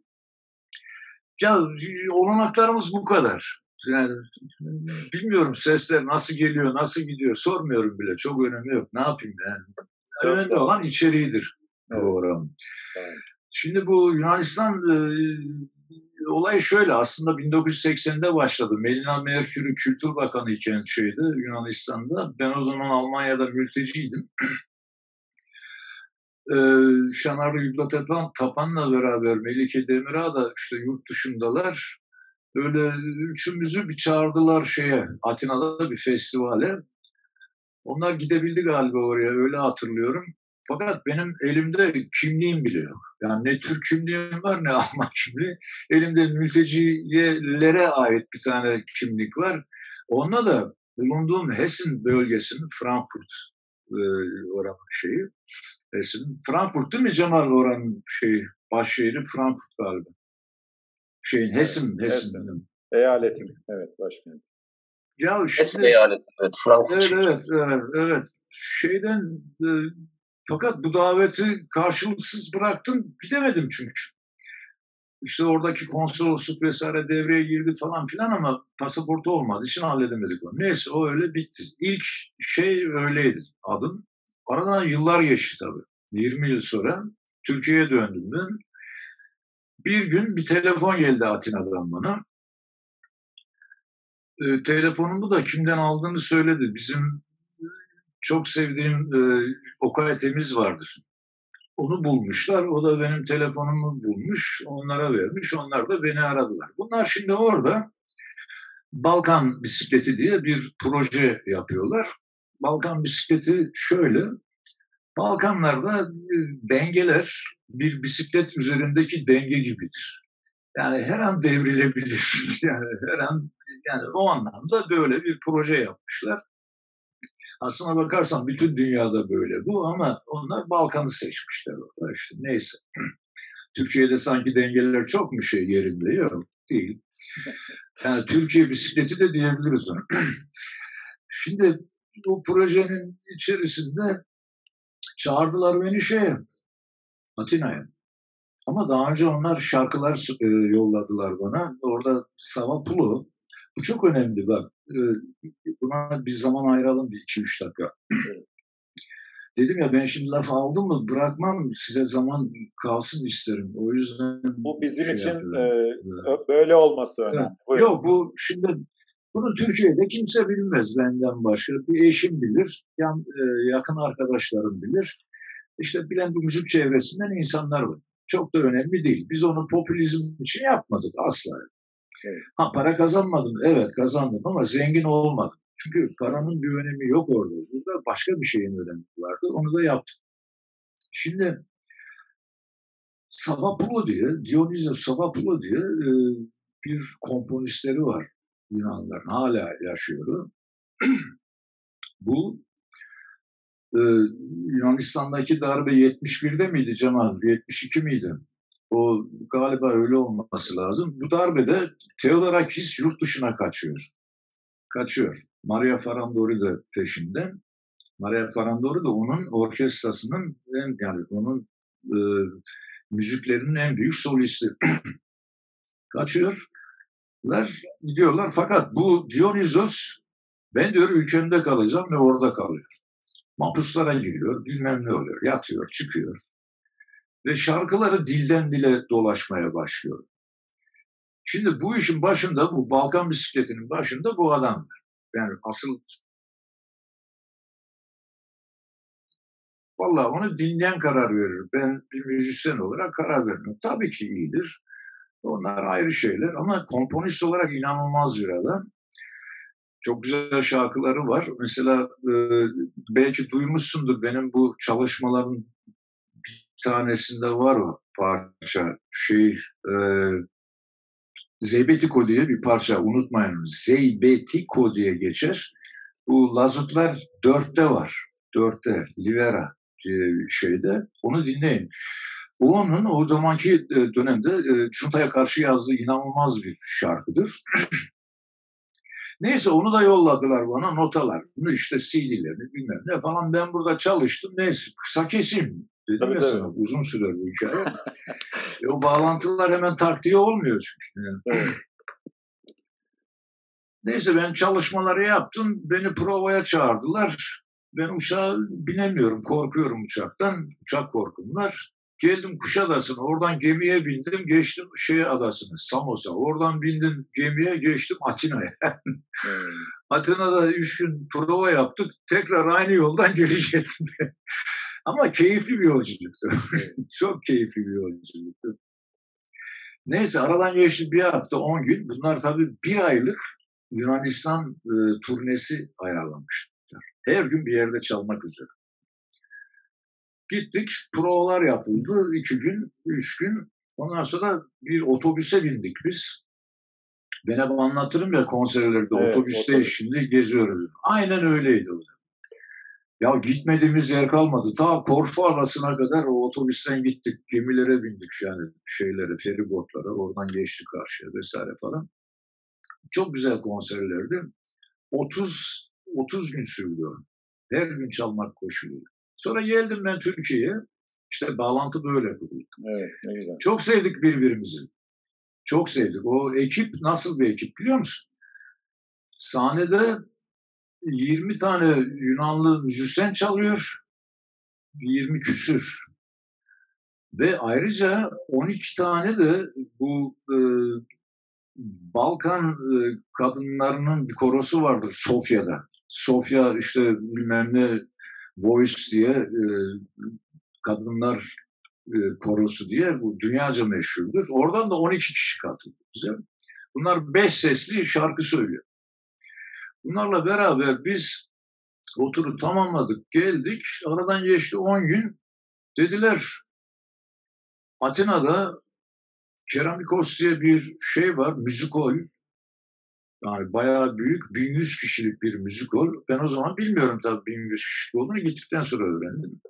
Kapalı, inanılmaz bir müzikol, inanılmaz bir ses düzeni ve inanılmaz bir sahne. Orada provaları yaptık. Haftada 6 gün çalmak üzere tam 3 ay devam etti. Ama aynı tiyatro gibi. Çıkıyorduk sahneye, baştan A, bittiği zaman Z, bitti o kadar. A, B, C, D, Z. Yani her akşam aynı şeyleri tekrar ettik. Her akşam. Fakat seyirci hep değiştiği için sorun olmuyordu tabii. Aynı seyirciye çalmıyoruz. Daha Selanik'ten insanlar geliyordu e, oraya şeye. Neyse. Orada buradan mübadelede gönderilenler hatta mübadelenin dışında kovulanlar bu ülkede bu 60'lı yıllarda vesaire falan her akşam oradaydılar. Her akşam. Ama e, aynı insanlar değil. Hep değişik değişik güzel. insanlar. Şimdi orada güzel bir şey vardı Ayhan. Bu çok önemlidir. Bize sanatçılar ne yapar? Konseri biter, iner şeye, kulise tuşunu bile almadan gider evine. Yani kimseyle de görüşmez. Orada ne yapıyorduk biz biliyor musun? Savapulo diyorduk. Şimdi e, öyle bir öyle bir konsantre oldum ki ben, siz, hepimiz bizi ne yaptıysan şeyi bile kaçırdık. Kapanıyor bile diyemedik yani. O arada kapandı. Ee, siz, yok yani. siz sahneden iniyorsunuz e, ve e, konser bittiğinde sahneden iniyorsunuz. Oradan ha. devam edebilirsiniz. Buyurun. Evet, şimdi Dionysos özel uçağı olan bir e, Yunanlı bir komponist var. Özel uçağı var. Fakat o özel uçağını kimsenin gözüne sokmayanlar. Bizden aynı otobüste bir ay boyunca o dandik otobüste tam kurtungur gider eski zaman otobüsleri gibi öyle hep beraber gezdik. Ama en güzel lokantalarda e, bizi ağırladı. En güzel otellerde ağırladı. O ayrı. Şimdi gelelim şeye kulise. Kulise geldi bana özellikle söyledi. Biz şimdi üç solistlik orada. Bir Dionysios Savapoulos, bir ben Türkiye'den, bir de e, şey gene Yunanistan'dan Nikos Papazoğlu. Bu şimdi ne yaparın e, şeysi işte şarkıcısı. E, onu yazan adam. Şimdi biz iniyorduk şeye bak Şimdi zamanımız var mı? Var var. İlk 35 dakika daha. Bunu tam bitireyim. Tam bitireyim. Bitiyor tamam. şimdi zaten. Buyurun. Ya bu şey güzellikler bunlar. Bu güzellikleri anlatmadan da olmaz. Yani Kesinlikle. Hayatın bu tarafı da var. Ya bu gidip oturuyorduk orada birkaç masa boşa, boşalıyordu. İşte bizi bir de masalarına davet ediyordu işte oradaki insanlar. Beni daha ilk akşam girdik seyircinin arasına karanlık. O arada Rembetiko çalıyor sahnede. Bizden sonra. Biz saat 11'de çıkıyoruz sahneye 10.30'da. Gece 1'de bizim program bitiyor. O bir saatli programda. Ondan sonra Rembetiko başlıyor. Millet çıkıyor sahnede dans ediyor, bilmem ne yapıyor, oynuyor. Oturuyoruz. Şimdi ilk akşam hiç unutmam. Bayan. Şimdi ben İngilizce konuşmaya çalışıyorum. Orada Almanca sökmüyor tabii. Konuşurken kadının bir tanesi bak şu kollar olduğu gibi altın. Buralar altın şeyler. Duyuyor musunuz onu? Duyuyoruz. Burada kolyeler, bilmem neler. Altınlar, altınlar. Bizim eski zaman kadınlarını hatırlayın. Türkiye'de altın önemlidir ya. Takılarını takıp en güzel yerlere öyle giderler. Bu da güzel bir şeydir. Kadın dedi ya sen dedi Türkçe bilmiyorsun dedi. Dedim vallahi biliyorum o benim Pontus'u biliyor şimdi tamam. Dedim biliyorum ya bilmez olur mu? Bak sahnede Türkçe söyledim. Ben dedi burada dedi operanın dedi baş e, şeyiyim dedi. Solistiyim dedi. Ama dedi geldiğim yer nere biliyor musun dedi. Adalar, adalar dedi. Büyük adadan gitmeye bak şimdi. 60'lı yıllardan. Ya şimdi bunlar e, ağlamak için birebir konular. Anlatabildim mi? Şimdi sizi ağlatmak için söylemiyorum ama e, gitmiş orada ama gene kendi işini yapıyor. Yapıyor ama oralı değil ki o. Bu büyük adalı. Ben diyor büyük adalı diyor. Neyse şimdi Savapulu'nun ne yapmak istediğini anladım ben. Biz her akşam bunu yaptıkça o buradan giden o Rum e, ahalinin ressamları, işte müzisyenleri, komponistleri bilmem hepsini tanıştık, hepsiyle tanıştık. Sonra bir akşam şarkı söylüyorum da orada şarkı söylediğimiz sahne yüksek, e, oturanlar aşağıda fakat masalar var. Aynı zamanda yemek yeniyor, içiliyor. Fakat bir çatal sesi duymuyorsun. Böyle bir şey yok. Ve ön masalara zaten servis yapmıyorlar. Bir baktım lan dedim bu Maria Farandoro ya. Allah Allah. Neyse. Bitti şey konser. Ben uzatırım lafı dedim mi? İndik aşağı bir baktım Maria Farandoro kilolu bir kadın tabii. Kolunda iki kişi merdivenden indirdiler. Çünkü sahnenin altındaydı kulis. İndirdiler. Geldi bana bir sarıldı. Fuat dedi ben dedi senin dedi üç parçanı aldım dedi. İngilizce tabii. Aldım ben kayıt yaptım ama beraber söylemek istiyorum dedi senden. E, ben, dünyalar benim oldu. Neden oldu biliyor musun? Şimdi Theodorakis'in baş solist. E, Maria Farandori ismi. E, dünya çapında bir ses. Ne güzel. Biz de az değiliz tabii yani. Boş ver. O kadar da değil. o Abi kadar bu- ne yapmayalım. Yani. Tabii. Öyle, öyle, öyle. Yakalaması da onun şansı ama tabii ki bunlar Tabii tabii. Ya o kibarlık. Bak kibarlıktır bu. Kibarlık yani. ne güzel. kibarlık kulise kadar geliyor. Ertesi gün onunla buluştuk. Dedi ki işte yemek yedik evinde. o zaman e, oranın Sosyal Demokrat Partisi'nden bir milletvekilliğiyle evliydi. O Kültür Bakanlığı da yaptık hocası onun. Ondan sonra sözleştik, gittik stüdyoda kayıtları yaptık vesaire falan yayınlandı o. İşte o şimdi e, neydi o? Nesimi'nin şarkısında beraber söyledik. İşte benim bir parçada, iki parçada Karlı Kayın Ormanı'nda vesaire falan söyledik falan. Şimdi Yunanistan hikayesi böyle. Orası üç ay sonra bitti. Niye bitti biliyor musun? Şimdi o da çok ilginç. Bütün müzisyenler aynı şeyi üç ay boyunca her gün çalıp söylemekten bıktıkları için dediler uzatmayalım. Gazino sahibi o kadar çok morali bozuldu. Her akşam adam 250 bin euro kazanıyor. 250 bin euro. Giriş 30 euroydu. İçeride tek başına biliyorum çünkü onu ben hesapları kitapları yapıyordular. Onun çok önemi yok tabii ama sahnede de iş oluyor yani gerçekten iş. bir şişe şarap 80 euroydu. Abi Neyse. oradan oradan bir e, civarı e, herhalde Yunanistan Geldi. önemli bir e, eser. Onu bir e, çalabiliriz. aslında şöyle yapalım ya bu Papazoğlu akciğer kanserinden öldü 6 sene önce. Evet. İstersen melodisini ben şimdi gitarla çalmayayım çünkü ayıp olur. Adam şeyle çalmış. Kendi onun bağlamadası vardı bu şeyin bağlamadaki diyordu ona. Evet. Ee, Buzuki'nin küçüğü var ya bebek evet. baby şey öyle. Bir söyleyeyim onun bir kıtasını ya. Bir kıtasını söyleyeyim. Belki belki çalıyor saz Ağlıyorum bu akşam duvarlar Parça parça olmuş gönlüm Kırılmış bir kadeh güzel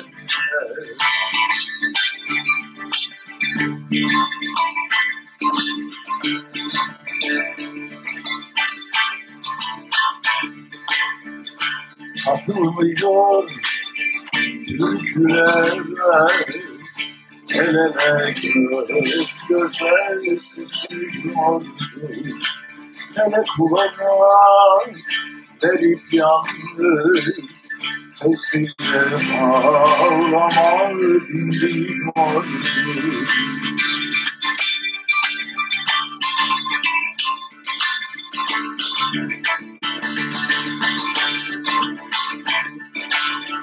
İçkimizi hatırladım Yan yana ayrılmasalar Şimdi ne yar var kim bilir Hangi yerlerde olmaz Şimdi ne yar var kim bilir Hangi yerlerde olmaz Çok teşekkürler. Ee, Suat Hocam, e, eğer Buyur. uygun olursa e, Nazım besteleriyle Almanya'da tabii e, bu toplumcu şairlerin veya sanatçıların eserlerinden de yararlanıp bestelediniz. Nazım besteleri var. E, çokça tabii sizin kasetiniz veya plak var. Oradan da e, yani isterseniz uygun olursa herkesin bildiği e, Karlı Kayın Ormanı bir kısa ondan bir Karlı Kayın Ormanı deyip ondan sonra Olur da... olur. Bunları şöyle yapalım Ayan. Şöyle Buyur. yapalım. Aslında zamandan da kazanmak için şöyle yapabilir miyiz bilmiyorum ama. Buyur. Ben onları bağlayayım birbirine. Ne güzel. Şöyle en iki iyi. tane, üç tane söyleyeyim. Olur mu? Nazım bestelerinden olsun. Yani. Şimdi bir tanesi Hazar e, Hazır Bahri Hazer Bahri Hazer diye bir evet. şiiri vardır. Çok uzun. Onun son bölümünü ben müziklemiştim. Son bölümü. O çok uzun bir destansı bir şeydir, şiirdir. Oradan gireyim bakayım ondan sonra ne gelir. Bir balıkçının ölümünü anlatırım.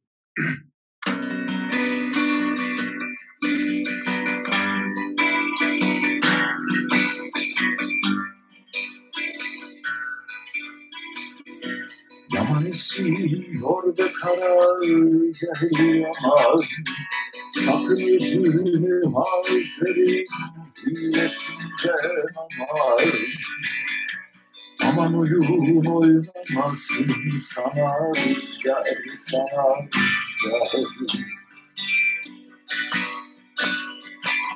Aldırmadan ne çıkar? Aldırmadan ne çıkar ne çıkar kurmuşsun kara el suları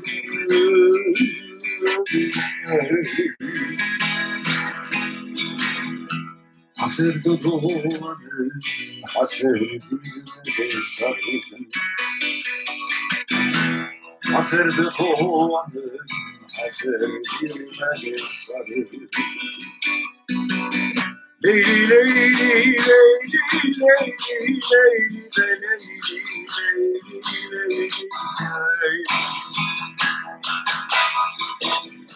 Lady, lady, lady, lady, lady, lady, lady, lady, lady. Azer dudağım hasır gözleri Hasırda doğanın hasır gözleri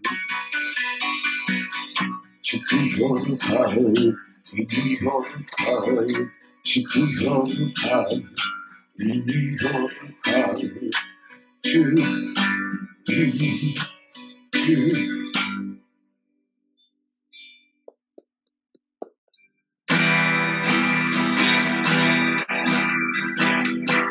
Halkayı ormanda yürüyorum geceleyin Efkarlıyım, efkarlıyım Elini vermeli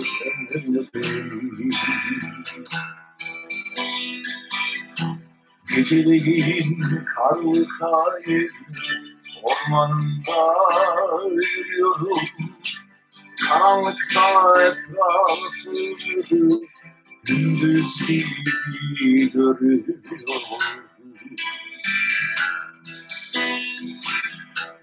Ben oradan geçerken değil, amca desek içeri ilk yerden selamlasam alnım içimdekileri.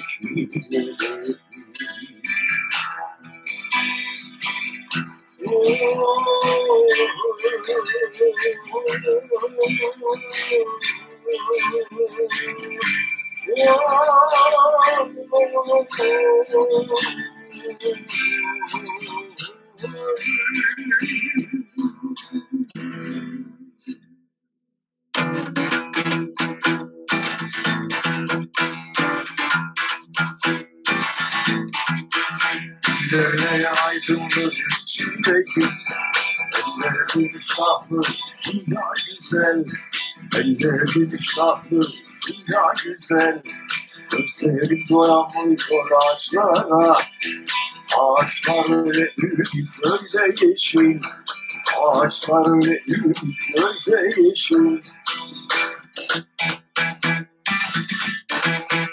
Güneş gidiyor gidiyor kutlukların arkasından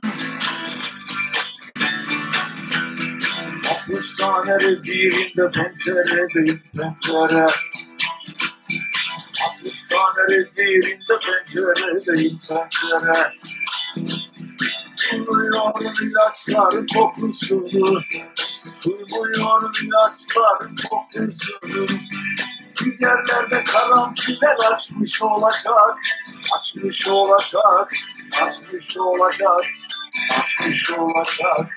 Bir yerlerde karanfiller açmış olacak, açmış olacak, açmış olacak, açmış olacak.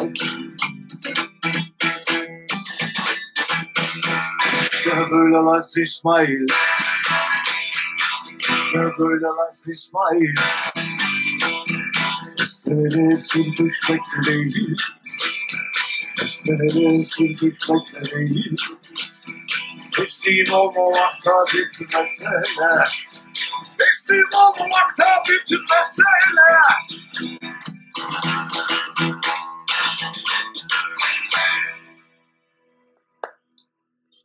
Bağlantılar bu. Çok güzel. Ee, bu gerçekten e, hem ritmiyle hem sözleriyle hem sizin enerjinizle e, bizim için çok değerli oldu. Teşekkür ederiz. E, elinize, Ben ağzınıza, yüreğinize sağlık. E, sevgili hocam, tabii ki çok konuşacaklarımız var aslında ama e, sürede öyle bir gidiyor ki tutturamadım. Ben Tamam Birinci- yüzüğü bırakalım şimdi. ya. yok birinci turda mıyız? Birinci turdaymışız gibi geliyor. Meğer üçüncü turdaymışız. Bitiyor. Üç, üç, üç. Üç. Şimdi e, tabii ki e, gurbette, sürgünde kayıplarınızın olması, kayıplar orada e, ağabeyinizi kaybediyorsunuz. Onunla ilgili de bir beste yaptığınızı ben daha öncesinde duymuştum. Eğer olanaklıysa ona ağıt olarak da söylediğiniz şeyi e, çünkü bunun da e, çok sembolik bir O anlamı var. kenardaki rayda, kenardaki rayda işte şeydi o. Evet. Bir de uygun Hitler'in olursa o- Ya Evet. çalarım ben benim için Bir ama ana- bu biraz kazık parça. Ben onu var ya hayatta e, Ayancım hayatta sahnede çalmıyorum çünkü beni çok hüzünlendiriyor. Doğrudur. Hiç çalmadım desem. Bir defa denedim e, Hamburg'da bir sahnede, kilisedeydi o da. E, akustiği çok güzeldi. E, çalıp söylerken ağladım. Ağlayınca da bıraktım parçayı yarıda. Bu da hoş bir şey midir Bu, bilmiyorum. O zaman yani ben tabii bu kadar e, duygu yüklü bir durum olduğunu anlıyorum ama eğer şeyse Tamam e, tamam size çalacağım. bağlı. Deneyeceğim şimdi. De- Deneyeceğim. Buyurun. Deneyeceğim, deneyeceğim. Gitarı duyuyor musunuz bilmiyorum Duy- ama. Evet duyuluyor. İbrahim, tamam.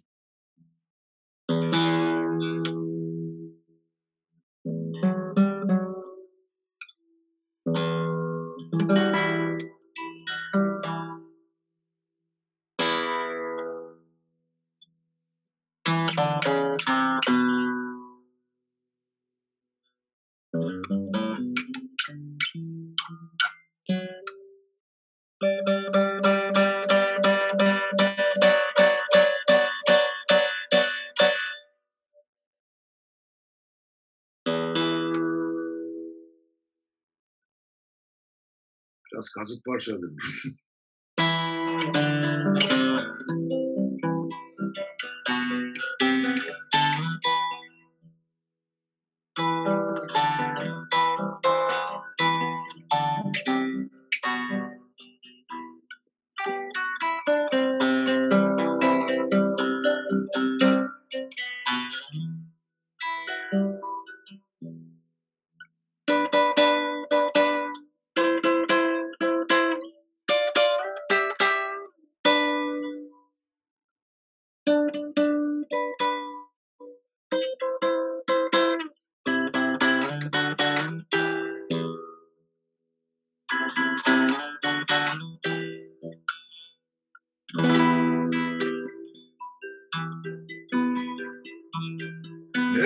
Göçer gider.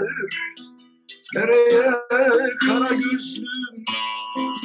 Öpüp doymadan Nereye? Nereye göçer gider? Nereye arkasında Gözü yaşlı bırakıp Nereye? Komşular hep sordulardı herkesin de ben öyle mi dedim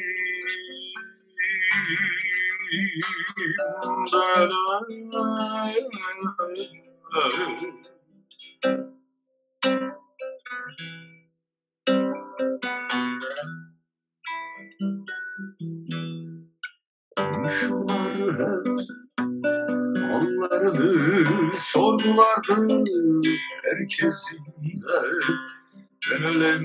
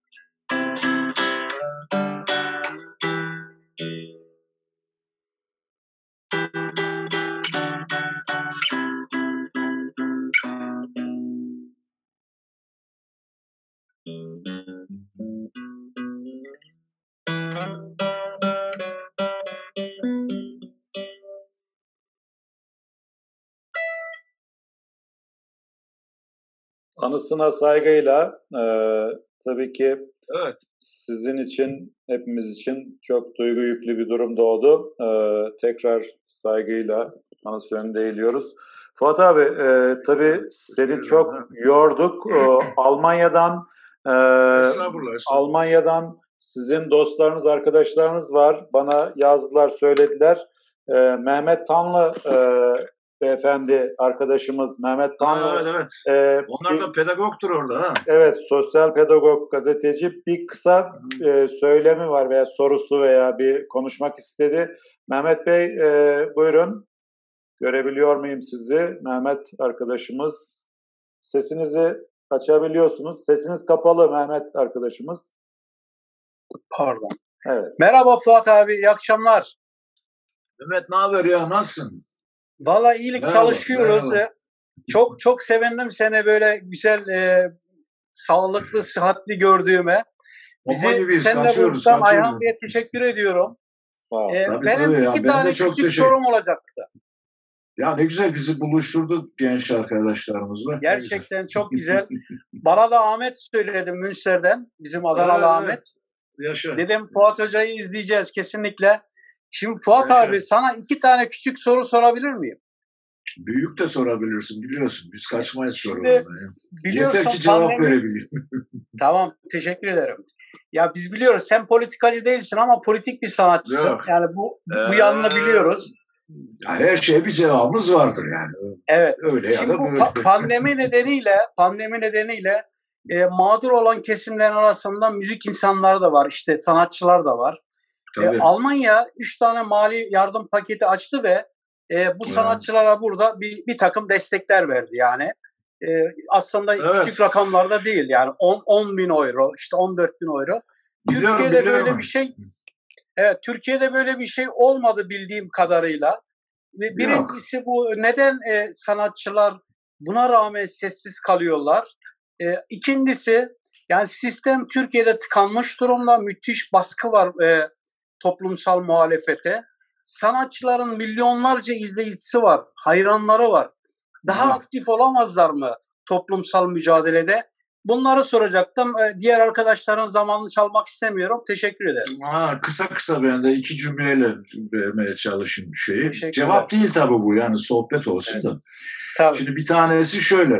O e, Almanların e, sunduğu o desteğe ben de başvurdum fakat beni herhalde e, çok kavrayamadılar. O parayı bana ödemediler. Ben Alman vatandaşıyım biliyorsun yani sonuçta. Evet evet biliyorum. E, tabii alamadım. Çok da önemli değil ama bir şey önemli Mehmetciğim.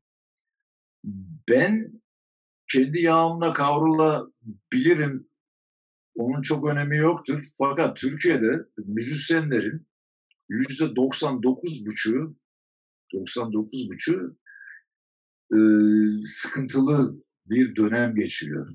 Sıkıntılı Doğru. demeyelim, gitarını satan, enstrümanlarını satan, ondan sonra kendi evlerinin yani kendilerinin kendilerine ait evleri satan kulağımıza geliyor bunların hepsi. Evet. Yani bunlar e, çoğaltılabilir bu örnekler. Kısa kesmek için söyleyeyim. Bu Türkiye'nin ayıbıdır. Bu bir ayıptır. Biz politikacı değiliz. Biz gerçekleri konuşan e, halktan bir takım insanlarız. Bir takım demeyelim de ayıp ettim şimdi çok affedersiniz. E, önemli insanlarıyız bu toplumun. Tabii önemli ki. insanlarıyız. Dan biriyiz demek daha doğru olur. Şimdi bu konu böyle. Türkiye'de bak bu telif haklarıyla ilgili MESAM, ondan sonra Miyor bir vesaire öyle bir iki tane önemli kuruluş var vesaire. Bunlar geçen şey attılar, tweet attılar, işte mesaj attılar. Diyorlar ki biz Kültür Bakanlığı'yla görüştük. Bütün üyelerimize e, bin lira ödeyecek. Bin lira. Çok bin az Türk lirası e, 100 euro yapıyor. Tabii. Ama onun karşılığında bir de e, şeyler istiyor senden. Müziğe nasıl başladın? İşte ilk sahneye çıkman nedir vesaire. Bu bu var ya yani bundan daha aşağılayıcı bir şey olabilir mi? O Hakaret. Evet. Bu bitti. Yani Türkiye'nin e, o anlamdaki geldiği nokta burası. Bu sistemler herhalde. Evet. İkincisi toplumsal muhalefet. Evet, toplumsal muhalefette sıkıntılarımız var. Neden var? Çünkü şimdi burada tabii sert konuşmayacağım ben, daha yumuşak konuşayım. Şimdi sistemi e, kurgulayan insanların pardon insanlardan bahsedemeyiz. İnsandan bahsediyoruz biz burada. Evet. Sistemi kurgulayan ve kuran insandan bahsediyoruz. Böyle olunca toplumsal muhalefet nasıl e, yürüyebilir ki? Biz müziğimizle bu ülkeye hatta dünyaya diyelim güzel şeyler katmaya çalışıyoruz. Güzelliklerin önünde engeldir bunlar biliyorsun. Bu güzellikleri engellemektir. Bu da işine gelir bu tip e, sistemlerde. Evet. Beni daha fazla konuşturmanın sen oradasın. Evet. Çok, çok sağ ol. Ee, Almanya'da görüşmek üzere. Ee, Görüşeceğiz. Ne demek? Seni seviyorum. Teşekkürler tamam, Mehmet Bey. Biliyorsun yani. Teşekkürler. Ee, ben de teşekkür ederim Ayhan Bey size. Sağ ol. Ee, Fuat evet, Hocam, ben de bir şey. Yine e, Almanya'dan Ahmet e, arkadaşımız, Ahmet Yeşil Yaprak evet. ha, söylemek ha, istiyor. Doğru. Sonra İbrahim Kılıç Hoca da bir e, soru yorum yapacak. Sonra başka isteyen olursa soru yorum yapsın. Sonuna doğru geliyoruz. Bir Betçe'yi Cem, belki... Cemal, Cemal, Cemal Bozoğlu orada mı? Bizim Cemal orada mı hala? Cemal burada evet. Görüyorum Bitti. ben. Cemal. Yok ona bir soru soracağım da siz de öğrenin diye. Çünkü ben buraya not almışım. Tamam bir şeyle... o zaman Ahmet arkadaşımız konuşsun. Yani bilginiz olsun diye konuşmak istedim. Bunu. Tamam. Buyurun. Ahmet. Evet, evet. Ee, abi merhaba. Ne haber? ee, iyidir, iyi gidiyor. Ben özellikle... Oğlum, e, özgürlükten bahsediyoruz. Al sana özgürlük. Sigara içemiyorum. Ee, evet, evet. Al sana rakı. Sanal... Rakı da içiyorum. Özgürlüğü ne dedik? Ya... Kendin alırsın. Ayhan Bey'e özellikle teşekkür etmek istiyorum böyle bir güzelliği bize yaşattığı için bugün. Ee, yani bunu... hele bana böyle bir evet. güzelliği sunduğu için ona daha şimdiden teşekkür ederim. Bunu e, böyle burada kalmasın. Sadece Ayhan değil arkadaşlarıyla. Evet Ayhan evet. E, Bey ve arkadaşlarıyla birlikte.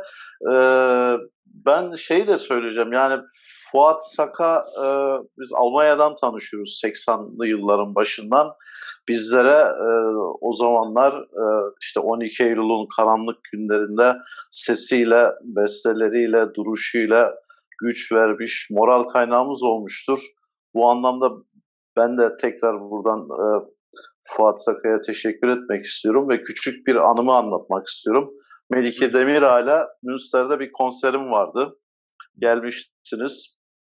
Konserden sonra e, konseri düzenleyenlerden birisi olarak bir Alman genç bir kadın kapıda bekliyordu herkes çıktıktan sonra. Ben gittim kimi bekliyorsunuz dedim. Ben dedi Fuat Sakay'ı bekliyorum. Hı. Neden dedim?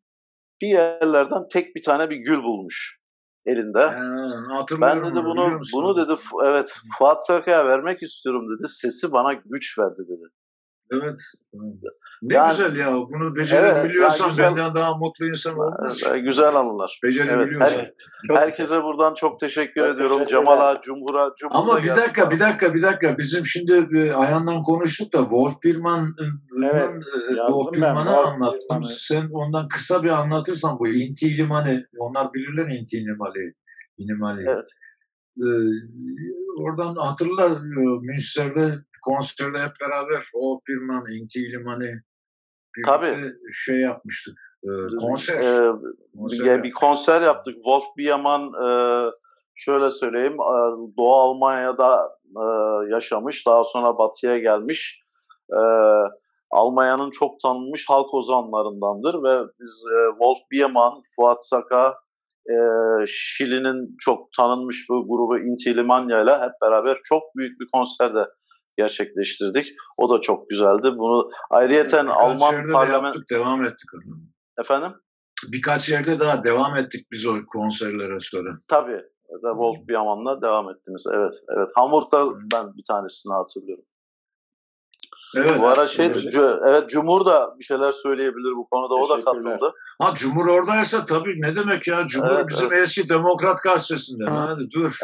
dur. Aya siz yandınız oğlum. Fuat abi şimdi süremiz evet. e, süremiz bir Bitiyor 7, mu? 7 dakika civarında ama Ee, yani tabii ki bir 10-15 dakika kısa, kısa, kısa. Yok Olur, olur, olur. ama e, şimdi e, siz e, burada soru soracağınız arkadaşımız Cemal Hoca'ya bir soru soracaktınız Cemal arkadaşımıza. Ona bir soru Aa, sorun. doğru. Buyurun. Onu Ahmet de biliyordu gerçi de ama Cemal'le konuşursak daha iyi olur. Buyur siz sorun. Cemal arkadaşımız dinliyor. Açtım mikrofonu Fuat buyur. Cemal bu şeyle Cumhur'la biz kontaktayız merak etme bu Göç Senfonisi'nin melodileri bitti. Top şimdi şeyde Cumhur'da haberin olsun. Onu sana anlatayım. Tamam bence o konuda bir haberleşelim. Gene Evet. bu aralar Evet. yani bizim bu koronadan dolayı da biraz zamanımız geniş. Biliyorum, Evet. biliyorum, biliyorum. Yani buradan şey yapabiliriz. Katkıda bulunabiliriz. Gördüm Cumhur'u. e, biz haberleşelim diyorum. Ondan sonra Evet, o tabii, senfoni tabii. olayını Şimdi arkadaşlar o konuyu bilmiyorlar bu göç e, senfonisi hikayesini. Onlara kısa bir bilgi vereyim. Sen de e, katacağın bir şey olursa sevinirim. Tamam. Bilsinler. Türkiye'nin bilmesi lazım bunu. Göç sadece ben Karadeniz'den başlamıştım. E, Karadeniz'in göçünü anlatmak için bir senfoni. Sonra arkadaşlar e, Cemal ve şey e, az önceki Ahmet Yeşil Yaprak arkadaş dediler biz bunu genelleştirmemiz lazım. Genelleştirdik. Şimdi onu dünyada insanlar doğduktan yani insanlık var olduğundan bugüne kadar hep göç olmuş. yani bunun senfonisini yazmak imkansız bir şey ama biz bu dönemi yazmaya çalışıyoruz Ayancığım. Onu da e, belirtmek istedim. Çok O önemli. nedenden dolayı. Bu projeyi heyecanla bekliyoruz. Yani tabii ki haberimiz olur Aynen, e, sonuçlarından bekliyoruz. E, uluslararası olması çok daha değerli. Bunu Evet, evet. e, takip ederiz biz de. Yani takip ederiz, bekleriz tabii ki. Sağ olun. Peki kısaca bir şey ön bilgi verme açısından şu anda Almanya'da şey dünyada 80 milyon insan e, evini terk etmiş durumda göç halinde. E, yani doğduğu yerde e, yaşayamayacak durumda. Bu hem savaşlar nedeniyle hem de doğa katliamları nedeniyle Ekonomik, afetler ekonomik nedeniyle e, bu insanlara işte müzikle bir şey yapabilmek, e, bunları görünür hale getirebilmek. Burada Aynen. büyücü görevi de Fuat üstlendi. E, bir şeyler çıkarabilirsek çok iyi olacak. Biz e, Olacak, olacak, teşekkür çıkacak. ederim. Yani Cemal Bey teşekkürler. Bu o, çalışmanın adını e, belirlerken e, Fuat Hocam sağ olsun bize biraz esneklik yani daha doğrusu özgür bıraktı bizi. Biz e, özgürlük için söylemek diye böyle bir tercihte bulunduk. Bunun çok mesaj yüklü olduğunu düşünüyorum. E, tabii ki özgürlük için çalmak, özgürlük için söylemek, müzik yapmak, sanat yapmak gerçekten çok değerli. Hepimizin katkısı olabiliyor ama sanatın biraz önce engellenemez olduğunu ifade ettiler. Siz de bunu uluslararası bir anlamda destek e, fonlayarak veya destek olarak e, katkı yapıyorsunuz. Sizlere de çok teşekkür ediyorum e, katkı veren arkadaşlara. E, şöyle yapalım Fuat Hocam. Yapıyoruz. E, Emine arkadaşımız... Nasıl istersen. Emine arkadaşımız ve İbrahim arkadaşımız e, size bir katkı veya kısa bir soru soracaklar. E, sonrasında da tabii kapanış için sizin söyleyeceğiniz, istediğiniz her şeyi söyleyebilir. İsterseniz kapatmazsınız ama e, kapatmak da gerekiyor tabii. Bu Tabii, bundan tabii, sonra tabii. belki bir yani eklediğimizi bir 10 dakikada falan toparlarız öbür eklediğimizi. Arkadaşlar Aynen, sorularını yöneltsinler. Siz ona göre e, ya değerlendirirsiniz ya da öbür oturuma kalır. Emine Ya, arkadaş moderatör sensin. Sen ne söylersen o olacak. sizi Yani. esir almış değiliz. E, bütün Hayır, hayır, hayır, hayır. Bütün arkadaşlarımız. Öyle bir hissimiz yok. Yani benim yok öyle bir hissim. Az önce e, Ben e, ben senin e, seninle beraber e, bizi izleyen arkadaşları esir aldıysam şimdiden özür dilemek. Estağfurullah, Estağfurullah. sizi yorduğumuz yönünde de e, uyarılar aldım. Bizim evden e, Yok ya arkadaşlar da yok ben yorulmam. ya. Fuat Hoca'yı yormayın fazla. Başka zaman yine e, çalışırız. Beni ne ihtiyar yerine koymuyorsunuz değil mi? Yormayın. ne demek yani? E, Ya aşı bugün gittim bak şey mahalle doktoruna, aile doktoruna Diyor ki abi diyor şimdi önce diyor sana aşı yapmamız lazım. ya dedim benden daha yaşlılar var burada. 90 yaşında, 95 yaşında insanlar bana. evet. Aynen öyle. Evet. Emine arkadaşımız. Olur olur tabii tabii. Emine arkadaşımız buyurun. Merhabalar Ayhan Hocam. Sesim geliyor mu? Geliyor evet dinliyoruz. Geliyor geliyor ben duyuyorum. Ee, bir isim var ta özünde, görünmez kendi sözüne, alabora eder beni sessizce, hangi renge takılırım ben gizlice, her gece. Bir isim, tek isim, bir isim, teksin, tek isim, tek de sensin, hepsini mi birlesin, bilirsin de ta neredesin. Dilinize yüreğinize sağlık e, Fuat Saka. Çok, Çok teşekkür, teşekkür ederim. ediyorum. Ayhan hocamıza da çok teşekkür ya ediyorum. ben Sağ teşekkür ederim. Benim gibi benim gibi benim gibi lafı uzatan bir adama tahammül ettiğiniz için ben teşekkür ederim. evet. Dilinize sağlık. Sağ olun. Teşekkürler Ayhan hocam. Sağ Sağ olun. ol Emine. Ya arkadaşımız Türkçesi gönderdi. bozuk bozuk bir sanatçıların başında ben gelirim. Ona da söyleyeyim. Bu doğal olması iyidir hocam. Organik olmasını söylüyorlar her şeyin. Doğal olması yönünde de bir gelişme var son Tamam, dönemlerde. İbrahim hocam e, kesilir diye sana vermiyorum. Bir dakikada konuşabilirsen e, verelim.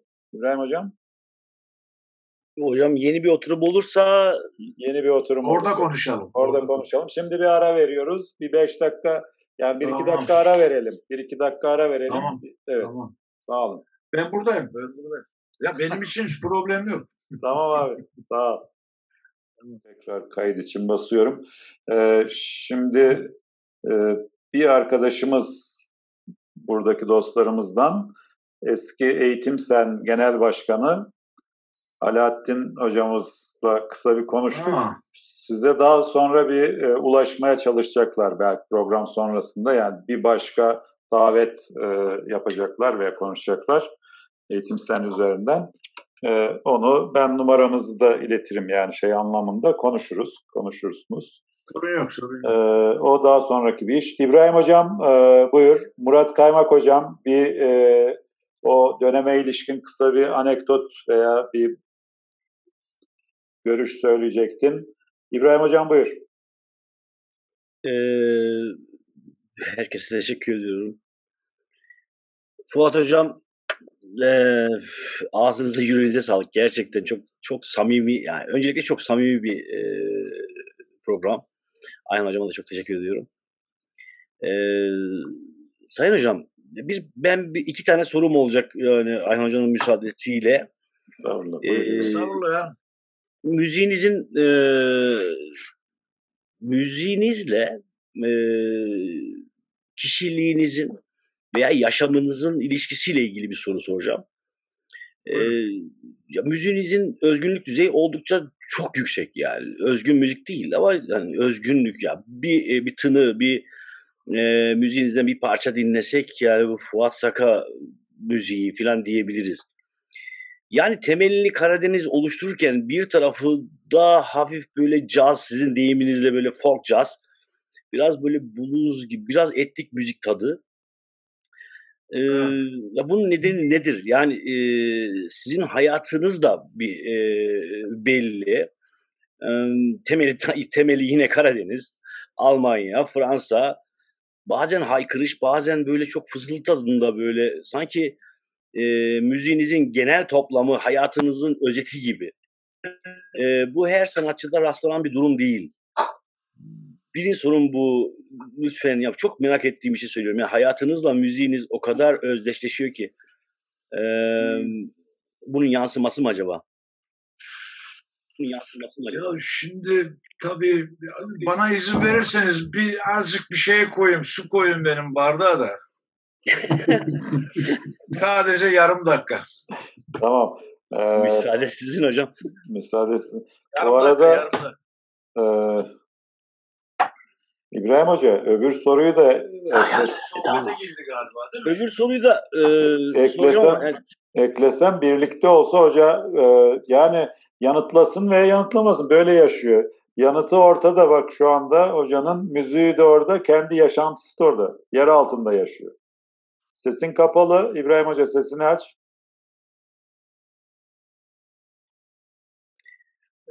ikinci soruyu da sorayım. Ee, hocam duyuyor mu acaba? Dur gelsin. Kulaklığı takmadan duymuyor. Ee, sanırım duymuyor. Evet. Fuat Hocam sesinizi açabilir misiniz?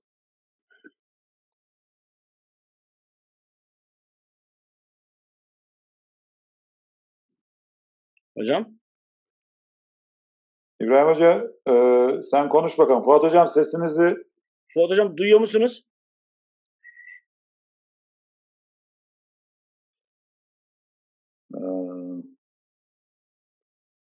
Her şeyde mut yapıyor şeyde. Kapattı şimdi. şimdi Hocam evet. duyuyorsunuz. Anladım anladım. Soru, soruları galiba anladım. Abi, bir daha eklesin. Bir şey daha ekliyor. İbrahim e, Hoca ekle, ekle. matematikçi. Bunu çok denkleme çevirme İbrahim Hoca. Düz sor. Düz sor. yok yok denk, denklemler bizim için ya. Boş ver. Yani, yani e, bir e, şimdi pek çok müzisyen var. E, o müzisyenlerin hani böyle kendi yaşantısı çok böyle müziğine çok yansımaz Sayın Hocam. E, ve burada tabii ki işte o Avrupa'daki durum e, ve kendi müzik kalitesi yansı, e, yansımış gibi e, görünüyor. E, hayatıyla müzik sanki böyle e, birleşiyor. Bu sorun bir tanesi bu. Bir diğer sorum e, Sayın Hocam. Evet. E, yani bu yani bu e, cevaptan sonra mı sorsam şimdi sorayım mı? Hocam tek buyur. tek gidelim bence yani. Tek tek, e, soru, tek, tek gidelim hocam çünkü birbirine bağımsız biraz sorular. ya şey oluyor çünkü yani ben gazeteci değilim, tartışmacı değilim vesaire falan. Ha gerekirse tartışırız o ayrı bir şey de. Şimdi bu bir tartışma değil, karşılıklı bilgi alışverişi diye ben davranıyorum. Tabii ki. O da şöyle. Şimdi insanların özel yaşamlarıyla yaptıkları işler arasında bazen farklılıklar olabilir. Özel yaşam, yani kimliği, kişiliği atıyorum işte şurada durur ama yaptığı işte buna örnek çoktur. Bütün dünyada çoktur. Yaptığı iş aslında hissetmediği, duymadığı şeylerdir. Ama yapar onu.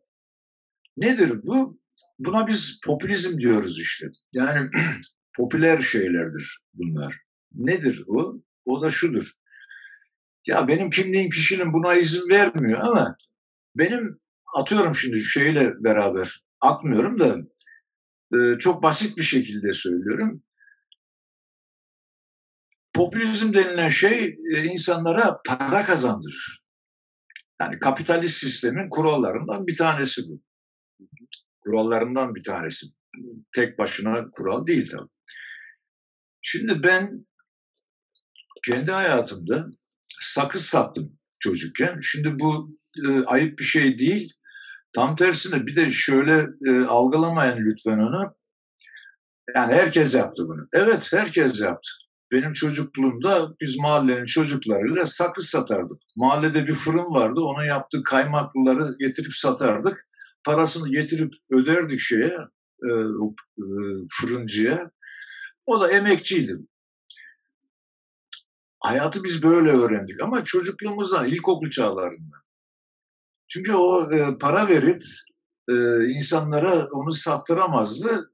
Bizim gibi çocukları dolaştırırdı orada. Biz de paraları getirip ona verirdik. O da bize ne yapardı biliyor musun? Her gittiğimizde o kaymaklı pastaları vardı. Birer tane verirdi bize. ikişer tane verirdi. E yeterdi bize. Yetinmeyi öğrenmek diye bir şey var. Şimdi ben yetinmeyi öğrenenlerden yani bizim generasyon öyledir. Yetineceksin. Ben şimdi müziği şöyle düşündüm. Benim bir derdim var.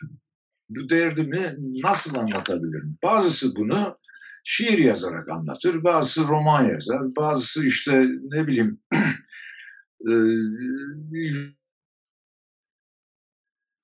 bazı futbol oynayarak ben de müzik yaparak bunu anlatmaya çalıştım.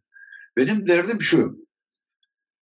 Sakın ola ki ey insanlar sakın ola ki bu yaptığım müzikten ben para kazanıyorum diye düşünmeyin.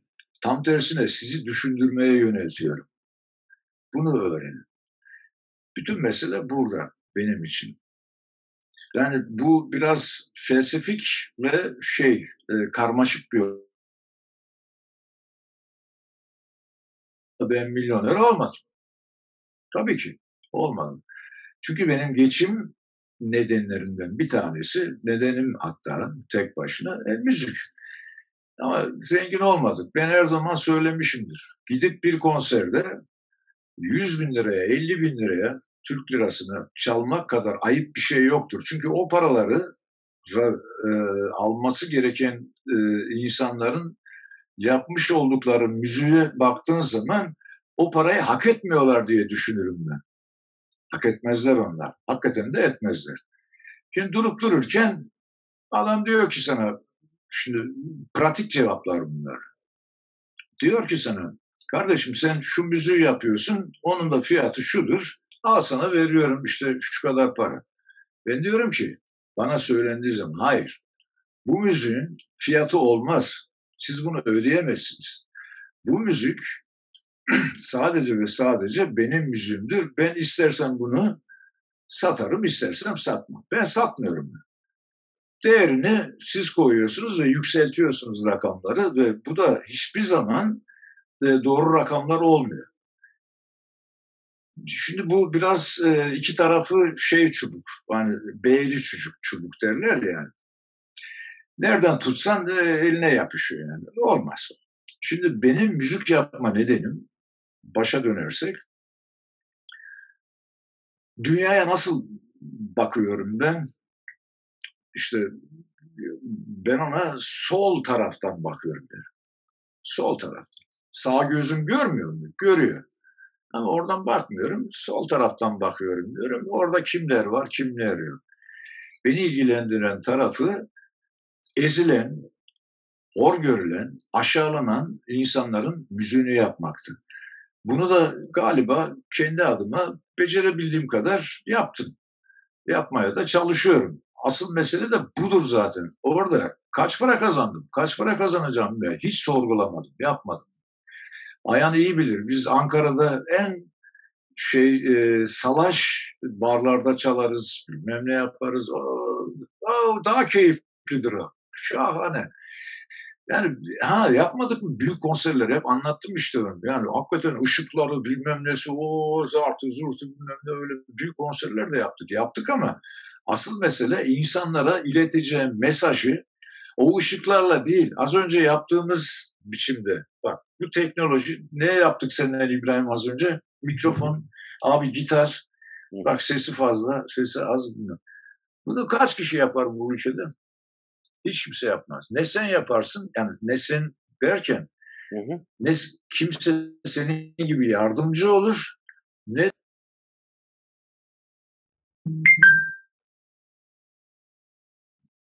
Hoca düştü herhalde. Murat abi kestiler. Ee, tabii böyle toplumcu mesajlar gelince Fuat abi gitti herhalde. Ona ulaşırız. Ee, evet. Diğer arkadaşlarımız herhalde duyuyorsunuz değil mi? Beni duyuyor musun? İbrahim duyuyor musun? Duyuyoruz, duyuyoruz. Duyuyoruz hocam, duyuyoruz. Ee, duyuyoruz. Bağlanır herhalde. Ee, herhalde ya da şimdi ararım hocayı yani ararız. Bir teknik sorun oldu, düştü. Ee, öbür öbür sorunu da e, yani kısa kısaca sor hoca hocayı yormayalım bir parça daha çalıp hocayı göndeririz herhalde. Çok kısa soracağım hocam da hoca dalıyor tabii ki böyle e, en iyi şekilde ifade etmeye çalışıyor her şeyiyle. Evet, e, şimdi hocayı ben... Hoca e, şu anda belki düştüğünü bilmiyordur hocam. Bir belki iletişim kursak. Bir arayayım ben hocayı.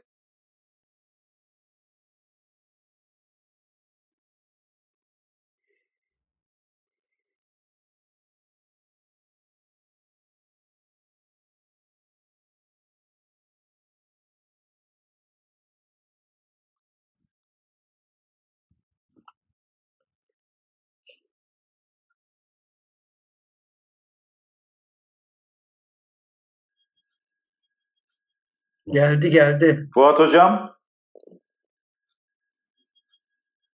Ee, sesiniz kapalı. Ses, mik, e, oradan mute olarak oraya bir şey yapın. Evet Çok Fuat Hocam. Gerçekten şarjı bitmiş bunun. Ee, yok. Buna şarj dayanmaz. Biz ayarladığımız 80 dakikaydı oldu 180 dakika. Sevgili hocam. Hayır benim gibi teknik bir adamın buna izin vermemesi lazım. Vermişiz. Ama, ama pen, penaltılara gidince biz burayı hesaplamamıştık. Biz yani bir devrede aynen, e, aynen, aynen. bir devrede işi tamamlayacağız diye düşündük. Aynen, aynen. Tabii penaltılara gittik. Boş ver sohbet ediyoruz ne güzel. Murat Hocam e, e, kısa kısa Aha. kısa yani e, ikinci soru neydi? Şimdi bir soru şu. E, yani hayata evet sol gözünüzle bakıyorsunuz. E, ya bir tarafınız böyle e, müziğinizde, konuşmalarınızda, giyiminizde e, bir Karadenizlik var. Yani ama bu Karadenizlik tabii entelektüel bir Karadenizlik. O e, görünüyor ama e, bu adeta yani böyle ya. ya ama bir tarafı böyle felaket ha, düzeyinde evet, diye nitelendirilebilecek tamam, e, mikro milliyetçiliğin de bir göstergesi yani. Bu, hayır hayır aman aman bak ben şeyi savunurum bak. Devam edeyim lütfen. Ee, e, orada hani şey olmasın yani öyle bir eleştiri yok. E, bir tarafımız... Hayır eleştiri tarafımız... olarak almadım ben cevap vermeye çalıştım ama şimdi benim vereceğim cevap şöyle.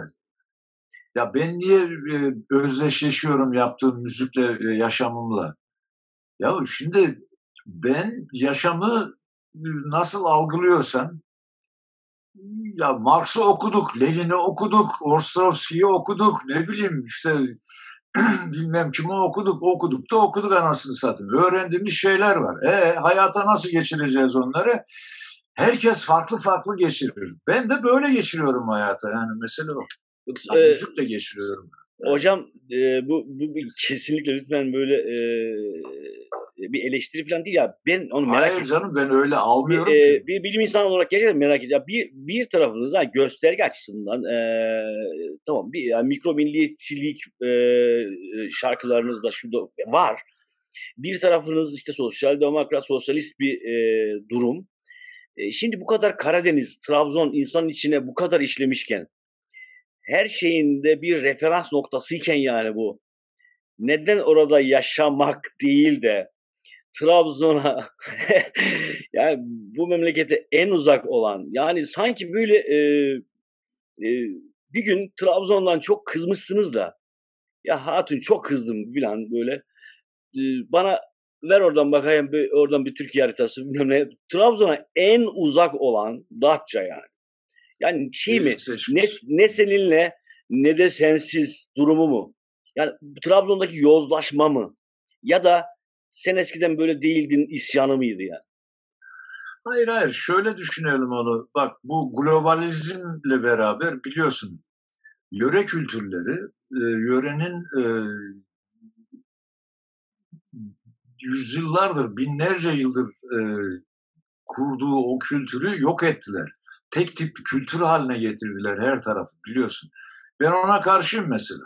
Olmaz. Şimdi bak mikro milliyetçilik şöyle bir şey. Mikro milliyetçilik şudur.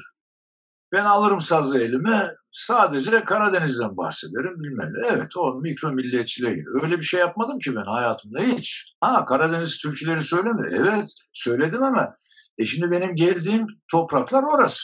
Yani coğrafya orası. O coğrafyayı da e, hor görmeyeceğiz. Hor görmeyeceğiz. Onu yapacağız. Bak ben buraya geldim Ege'ye. Dedin ya işte 1500 kilometre batıya gittin. Evet doğru. E ama bak şimdi Betçe diye bir albüm yaptım ben. Onun içinde var 6-7 tane Ege türküsü. Üstelik kendim yazmışım onları. Bir de öyle şeyler de var. Bu şu demektir yani e, bu lokal kültürleri yaşatmamız gerekiyor. Yaşaması gerekiyor onlar. Tek tip Amerikan kültürü olmayacak. Hele müzikte bu çok tehlikeli. Bakın Çin'e git Amerikan müziği çalar, Amerikan popu bilmem ne sadece Çince söylerler. Japonya'ya git, Japonca söylerler. Afrika'ya git, Afrika. Afrikalılar gene o konuda iyiler. Avrupa'ya git, onlar aynı Amerikan müziklerinin taklidini yapıp sadece kendi dillerinde söylerler. Avrupa'da genellikle de İngilizce söylerler, o da ayrı bir şey. Ama şimdi Ruslar, Çinliler, Hindistan'da Hindistan'da da var o lokal şey kültür e, şey e, devamlılığı o güzel bir şey. Şimdi olan şu lokal kültürleri yok etmek adına globalizm denilen bir şey dayattılar bize. Onun kaybolmaması tam da e, benim Lazutlara yaptığım dönemlerde o biliyorsunuz globalizm. Ne yaptım ben orada? E işte dedim şimdi tam Karadeniz'i şimdi koyma zamanıdır. Çünkü neden? Çünkü yok ediyorlar. O kültürleri de yok ediyorlar. Bak ben Rumca bilmem. Pontusça bilmem. Gürcüce bilmem ama söylerim. Söylemem lazım çünkü o benim görevim. Şundan dolayı görevim. O kültürlerin yaşaması lazım. Onları Amerikan kültürüne teslim edemeyiz. Etmemeliyiz daha doğrusu. Edemeyiz değil de ediyoruz mecburen. Evet. Mecburen ediyoruz. Ee, tabii ama etmememiz gerekiyor. Bu önemli. Ha dünya kültürü. Tabii ki ya ben Afrikalılarla da çaldım. Söyledim de işte Danimarkalılarla da çaldım. Amerikalılarla, Latin Amerikalılarla herkesle çaldım. Bir tek Çinlilerle, Japonlarla çalamadım çünkü karşılaşamadık. sevgili, sevgili hocam, şimdi e, İbrahim arkadaşımızla da kısa bir tanıştırdıydım sizi. E, Şarkışlalı İbrahim Hoca. E, şimdi desek ki e, Veysel'in... Şarkışlaya düşürmesin. Evet. Allah sevdiği kulu. Kulu. Bir de Veysel'in ötme bülbülünü de Fuat Hocam tabii yani ben savunmak açısından değil ama Fuat Hocam bütün e, dilleri, kültürleri veya ezgileri e, fırsat buldukça tabii, tabii. E, çalıp söyleyebildi. Ötme bülbül de vardı.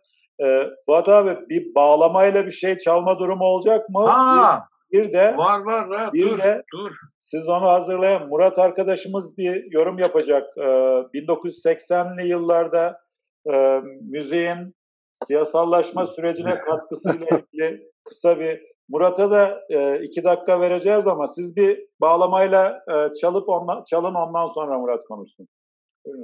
Öyle mi yapalım? Tamam. Öyle yapalım. Ya şimdi bu Nazım Hikmet'in Sazın sesi geliyor mu bilmiyorum ama ben duyamıyorum. Ha iyi tamam. Şimdi Nazım Hikmet biliyorsunuz yani onu anlatmaya gerek yok da bu asker kaçağı şiirini çoğu insan bilmez onun. Bunun hikayesi şu.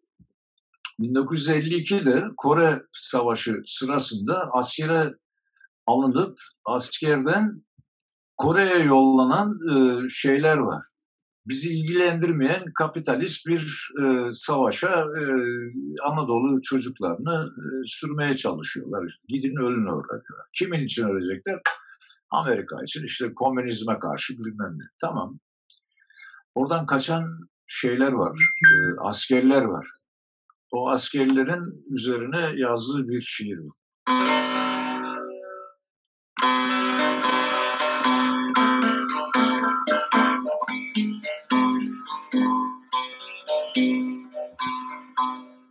Köyün evleri karanlık Gökte yıldız pırpır eder Hem bir asker kaçayım Elin bana bir taş sürer. Durur yolda Emzikli bir kadın çağırır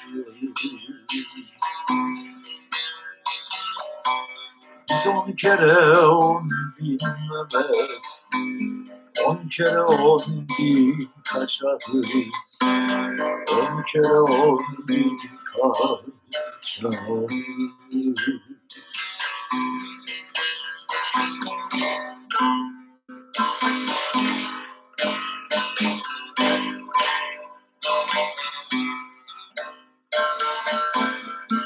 Develer ağlıyor Uyku uyutmuyor açlık Yaramı sar ver bacım Jandarmalarla çarpıştı Bekleyip durur yolumu Müzikli bir kadın çağırır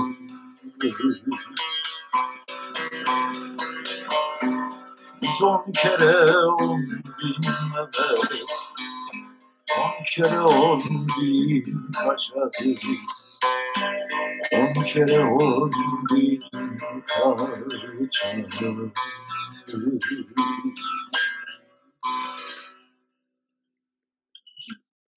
Evet. Fuat Hocam, e, şimdi şöyle bir iki arkadaş size e, Almanya'dan olan arkadaşlar bir iki katkı yapacaklar bir iki cümleyle. Murat Hoca da... Ha, Cumhur orada, Cumhur'u görüyorum.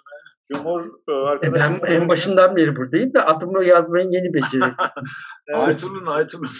Şimdi e, Cumhur arkadaşımızın ismini gördüm. Cumhur Aytul'unla tanıştırmam lazım sizi. Ayan, e, e, eski dedim ya o Demokrat'ın ilk genç yazarlarından. Ne güzel. E, Şimdi bundan sonra umarım iletişimimizde olacaktır. E, tabii tabii. Yurt dışında Kirpi gazetesini çıkaran. Işte, Söylemiştiniz, bahsetmiştiniz. Ben şimdi evet, gördüm. Evet. Cumhur Cumhur arkadaşımız biraz e, sonra size vereyim. Murat arkadaşımız tabii, bir, tabii. bir kısa Murat iki dakikalık bir süre Teşekkür var. ederim Ayhan. Yani e, önce tabii Fuat hocama teşekkür edeyim. E, gerçekten e, soluksuz bir biçimde izledim, dinledim. E, şimdi Fuat Saka'ya bir kez daha teşekkür etmem lazım. Onun için aslında söz aldım. O da şu. 12 teşekkür Eylül sonrasında benden, teşekkür benden. 12 Eylül sonrasında üniversite öğrencisi olarak e, bu müzik bizim hayatımızda özel bir yer, o, yer aldı. Şimdi herkesin hayatında müziğin çok özel yeri var ama e, ben de çocukluk evrende Tokat'ın yerel türkülerini hala çok severim ama, ama üniversiteye geç, geldiğimizde e, Zülfü Livaneli, Ahmet Kaya, Ruhi Su ve sizlerin e, daha sonra başka grupların da yer aldığı bir müzik üzerinden bir siyasal toplumsallaşma, siyasal bir duyarlılık oluştu. Ben onun için teşekkür ediyorum aslında. Onu, onu orada Fuat Saka ismi çok önemli bir yer tutuyor. Onu 12 Eylül'den çıkış sürecinde eğer bir gün birileri bunun üzerinde dururlarsa göreceklerdir diye düşünüyorum. Yani bugün belki bu müzikli bu müziği bir bazen işte nasıl söyleyeyim bir takım şeyler için dinliyorsak da duygularımız için ama o dönemde biz hemen hemen her yönüyle bir farkındalık için e, dinledik diye düşünüyorum. Mesela en güzel aşk türküleri bile bizim için mücadelenin bir parçasıydı. Tabii, tabii, tabii. Yani e, o açıdan e, o yerel müzikler de öyle. Sazın kendisi başta başına bir mücadele aracıydı. E, o açıdan çok çok önemli bir süreci aktörüsünüz, tanırsınız, hazır nasıl söyleyeyim harekette geçirici güçlerinden bir tanesisiniz. Teşekkür ediyorum. Bunu söylemek için söz aldım. Evet. Murat ben teşekkür ediyorum. Ben teşekkür ediyorum. Bu acayip bir hassasiyettir. Yani teşekkür ederim gerçekten. Evet. Ya bize biz, bizim gibi insanlar yavaş yavaş azalıyor. Şimdi ben bakıyorum Facebook'a bilmem ne şu öldü bu öldü. Bir gün gazetesi okurum ben her gün. Benim eşim alır o gazeteyi sağ olsun. Ben de okurum. Hep şey daha çok hep, hep ölüm haberleri var bilmem ne. İşte Cumhur iyi bilir şimdi. Onunla beraber Demokrat Gazetesi'ni e, şey yapan, e, omuzlayan arkadaşlardan biri de işte öldü geçen. Yani bunlar e, şöyle, biz dedik ya şimdi bizim motomuz şeydi ya özgürlüklerle alakalı. Evet. Yani özgür olabilmek için gerçekten yani korkuyu bir tarafa atmak diyeceğiz ama tabii korkularımız yok mu? Hepimizin var. Olmaz mı? Olur. Yani her insanın bir korkusu vardır. Yani daha doğrusu korkuları da var. Ama yani söyleyeceğimiz sözleri de e, usturuplu söylediğimiz zaman bizim Karadeniz'de bir laf vardır. Laf, laf değil de ben söylerim onu. Ya Karadeniz usulü söyleyeceğin her şeyi mizahla beraber hareket ettirirsen o mizah yerine bir gün oturur ki zaten oturtuyorlar. Yani bu da önemlidir. O zaman belki biraz daha rahat e, konuşma imkanı sağlar kendi aramızda. Ben onun için direkt e, direkt konuşmaktansa öyle indirekt konuşmayı seviyorum. Neden seviyorum? Çünkü böyle özgürlüklerimizi de kullanabilelim bu zor zamanlarda. Teşekkürler. Şimdi e, Fuat Hocam, e, iki arkadaşımız e, bir size katkı veya soru, Cumhur arkadaşımızla İsmet Arıcı arkadaşımız. Sonrasında eğer kalırsa ve siz de uygun görürseniz Betçe ile kapatalım. E, çünkü 9 dakikamız kaldı. Bir e, Banu arkadaşımız olur, olur. özgürlüğü e, özgürlüğün metaforik metaforik tanımını nasıl yapar diye soruyor size. Yani özgürlüğü metafor olarak neye benzetiriz? Nasıl bir böyle e, uzun bir tanım değil de özgürlük e, nedir diye. Ya metaforu şöyle düşünecekler kardeşim. Metafor ne? Şimdi onun şimdi Türkçesini söyle bana sen şimdi. Metaforun karşılığı ne Türkçe'de? Yani, Metafor yabancı bir kelimeden üretilmiş bir şey, kavram. Evet. Doğru mu? Evet. Metafor. Ben diyorum ki bak kendinizi kendinizi bir tane şey yapın. E, roket affedersin beline kıçına tak ona o seni assın şeye uzaya. Git bakayım ne kadar özgür oluyorsun. O, özgürlük Orada özgürsün. evet. Teşekkürler. Orada özgürsün. Bunu, bunu anlamaya çalışacağız. Bunu anlamaya çalışacağız. Denemeyelim de. Ne yani, bileyim yani işte. Yok, yani, deneme yapmayalım bana, da anlamaya çalışalım. deneme yok, deneme yok. Sadece şeyde. Bunu e, anlamaya çalışalım. Soyut evet. olarak düşünelim bunu. Düşünelim bunu. Şimdi e, Cumhur arkadaşımız ve İsmet Arıcı arkadaşımız e, kısa kısa e, düşüncelerini söylerseniz buyurun. E, sesim duyuluyor mu? Çünkü biraz duyuluyor, teknoloji duyuluyor. E, evet. Duyuluyor, Herhalde duyuluyor. adımı geç yazma becerimden anlamışsınızdır. Önce Ayhan Ural arkadaşımıza teşekkür ederim. Pandeminin en başından beri ben böyle bir imkanı duyuyorum. Ama kendim kullanma şansına sahip olmamıştım. Aa, Fuat işte sayesinde atladım. Yoksa benim e, işte epey arkadaş grubum var ama ben şimdiye kadar cesaret edip girememiştim e, Fuat benim böyle bir itici unsur oldu. Böyle bir şeyde yer almadı. Sağ olun. Teşekkür Şimdi bir arkadaşımız ilginç bir soru söyledi. Karadenizlere Datça nere diye. Onun son senfoni çalışmasıyla e, bağlantısını kurarak söyleyeceğim. Şimdi e, yani Fuat'ın yaşam öyküsü, çağın yaşam öyküsü ve müziği çok iç içe geçer. Yani burada bütün bu lokal unsurları ama bütün bu göç ettiği, gezdiği ülkelerin müziklerinin unsurları epey iç içedir ve zannedersem bu son senfonik çalışması bir nevi en üst derecesi olacak. Ee, şimdi dünyada göçün en çok olduğu yerler, aynı zamanda uygarlığın da gelişmesinde çok önemli olan yerler Orta Doğu, işte bu şey e, Mısır, e, Suriye, İsrail, Filistin, Türkiye, Yunanistan o, yani coğrafyası ve Avrupa'ya doğru böyle bir sarmal içinde. Fuat da buralarda gezdi. Yani e, e, kendi yaşam öyküsü ve buralarda müzik yaptı. Buraların insanlarıyla iç içe yaşadı. Buranın müzisyenleriyle ortak çalıştı. Bizim hayatımızın Fuat'la çakışması da bu politik macera ve koşuşma içinde oldu. Şimdi göç hem bir kaçıştır ama göç aynı zamanda hem bir o özgürlüğe koşmadır. Ve tıpkı o mavi kuş gibi siz bir mavi kuşu ararsınız ama bir dönersiniz ki ilk baş en mavi kuşu bulunduğu yer e, e, o ilk arayışa geçtiğiniz evinizdir. Fuat da öyle olmuştur kendi yaşamında. Bir sürü insanın kendi yaşamında öyle olmuştur. Ve bu e, e ta, bu sarmal e, kapandığında da doygunluğa erişmiştir. Şimdi sanatçıların şöyle bir kaderi var e, yaşamlarında değerlendirilmiyorlar. İnşallah Fuat aynı şeye uğramasın. Yok yani, ben iddialıyım. Ben daha 95 yaşına kadar yaşarım. Hayır onu, onu kastetmiyorum. Yani bir yok, Van Gogh düşünün çok merak ederim. Van Gogh niye o gece kulağını kesti? Yani hem de en sevdiği arkadaşı geldi an. Ben de bu sorunun cevabını aradım.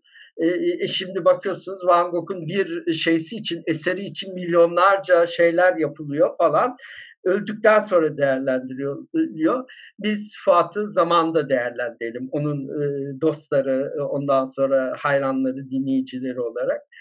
E, Şimdi Fuat'ın bulunduğu yere ben gittim. Bu yıl gittim ilk defa. Ben de hayatımda gezmeyi çok seven bir insanım. Datça'ya.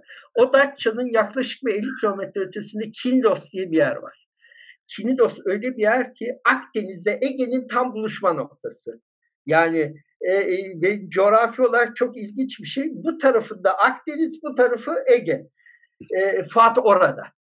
E, Trabzon'la e, e, şeyin yani o e, Ege'nin Karadeniz'in, e, işte Akdeniz'in, e, Avrupa ile Asya'nın buluştuğu yerde.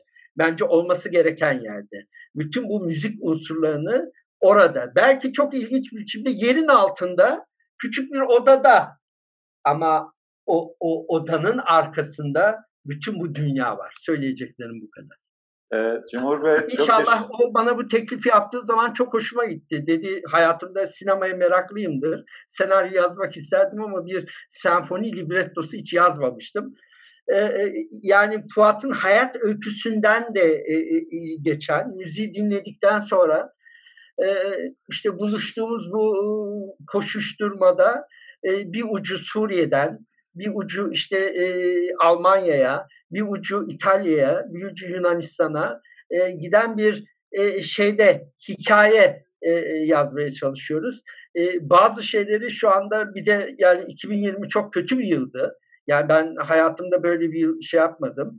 İşte her şeyi yaşadık. Bir tek göktaşı çarpmadı. Duyduğuma göre bir göktaşı da dünyaya doğru geliyormuş. İnşallah yani canımız okunmaz değil mi? E, daha mutlu e, bir şey geçiririz. Zor bir dönem. Ayancığım şimdi bizim İnsanoğlu şey... her şeye alışıyormuş. Pandemiyle ve pandemi koşullarında yaşamaya ve üretmeye de e, e, alışmış ve Fuat bunun örneğini de vermiş bir insan.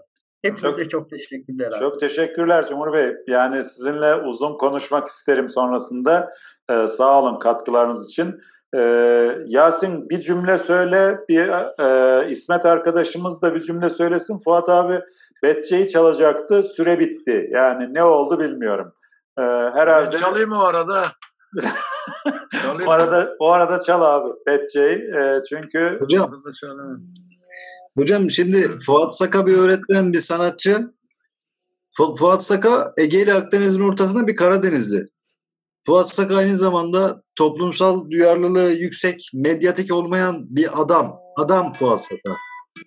Yani ben de kendisiyle kısa tanıştım ama şunu da söyleyelim. Fuat Saka bir ozan. E, tanınması, yeni nesiller tarafından tanınması bir de yazılması lazım söylemesinin yanında. Kendisi mi yazar, başkası mı yazar? Selamlarımı iletiyorum hocam. Evet, Yasin teşekkürler. Samsun'dan Yasin Keleş arkadaşımız e, Fuat abi. Sizi Samsun'dan... Selamlar Yasin'e selamlar. Evet İsmet e, arkadaşımız e, kısaca söylersen hocaya da bir iki dak bir dakikalık şey kalsın. Zaten hay hay tabii hay hay tabii ki ben de kısaca hemen çok süratli özetleyeyim çünkü e, Fuat abi ben de sizler gibi sizler gibi hepimiz gibi yıllarca yıllarca dinledim ama e, kendisiyle e, geçmişe dönük uzun bir süren e, dostluğumuz da var. E, canlı canlı onun müziğini çok yaşattım, çok paylaştım. Bir pandemi döneminde de çok sık görüştük, beraber müzik de yaptık. E, eklemek istediğim sadece şuydu, İbrahim Bey'in sorusuna da aslında tam bir cevap olacak. Ben bu betimlemeyi yapmak istedim hissettiğim Fuat Sakay'ı burada da tanımlamak istiyorum. E, müzik insanları e, dış dünyaya göre müzik yapan genelde bir imaj çizerler ve bir sound oluşturayım bu toplumda nasıl yer bulur diye hesap yaparlar. El, elbette ki içsel birikimlerini yine dışarıya atarlar ama Fuat abi hiçbir zaman bu hesabı yapmamış bir insan. O içsel zenginliğini, dünya müziğini de çok çok iyi özümsemiş bir insan olarak e, dünya müziğiyle harmanlayarak tamamıyla ve tamamıyla yüreğinin sesini dinleyerek müzik yapan bir insan, gözünü kapayarak müzik yapan bir insan. Onun için Fuat abinin şarkıları kendine özgüdür, e, ruhu kendine özgüdür, söylemi kendine özgüdür, sound'u kendine özgüdür. E, işte onun için orijinaldir, onun için güzeldir, onun için bizleri alıp alıp götürür. Ee, evet abi dinliyoruz seni. Teşekkürler. Fuat abi. Şeyden Ayten Bey size de çok teşekkür ederim. İmanımda teyze karadesi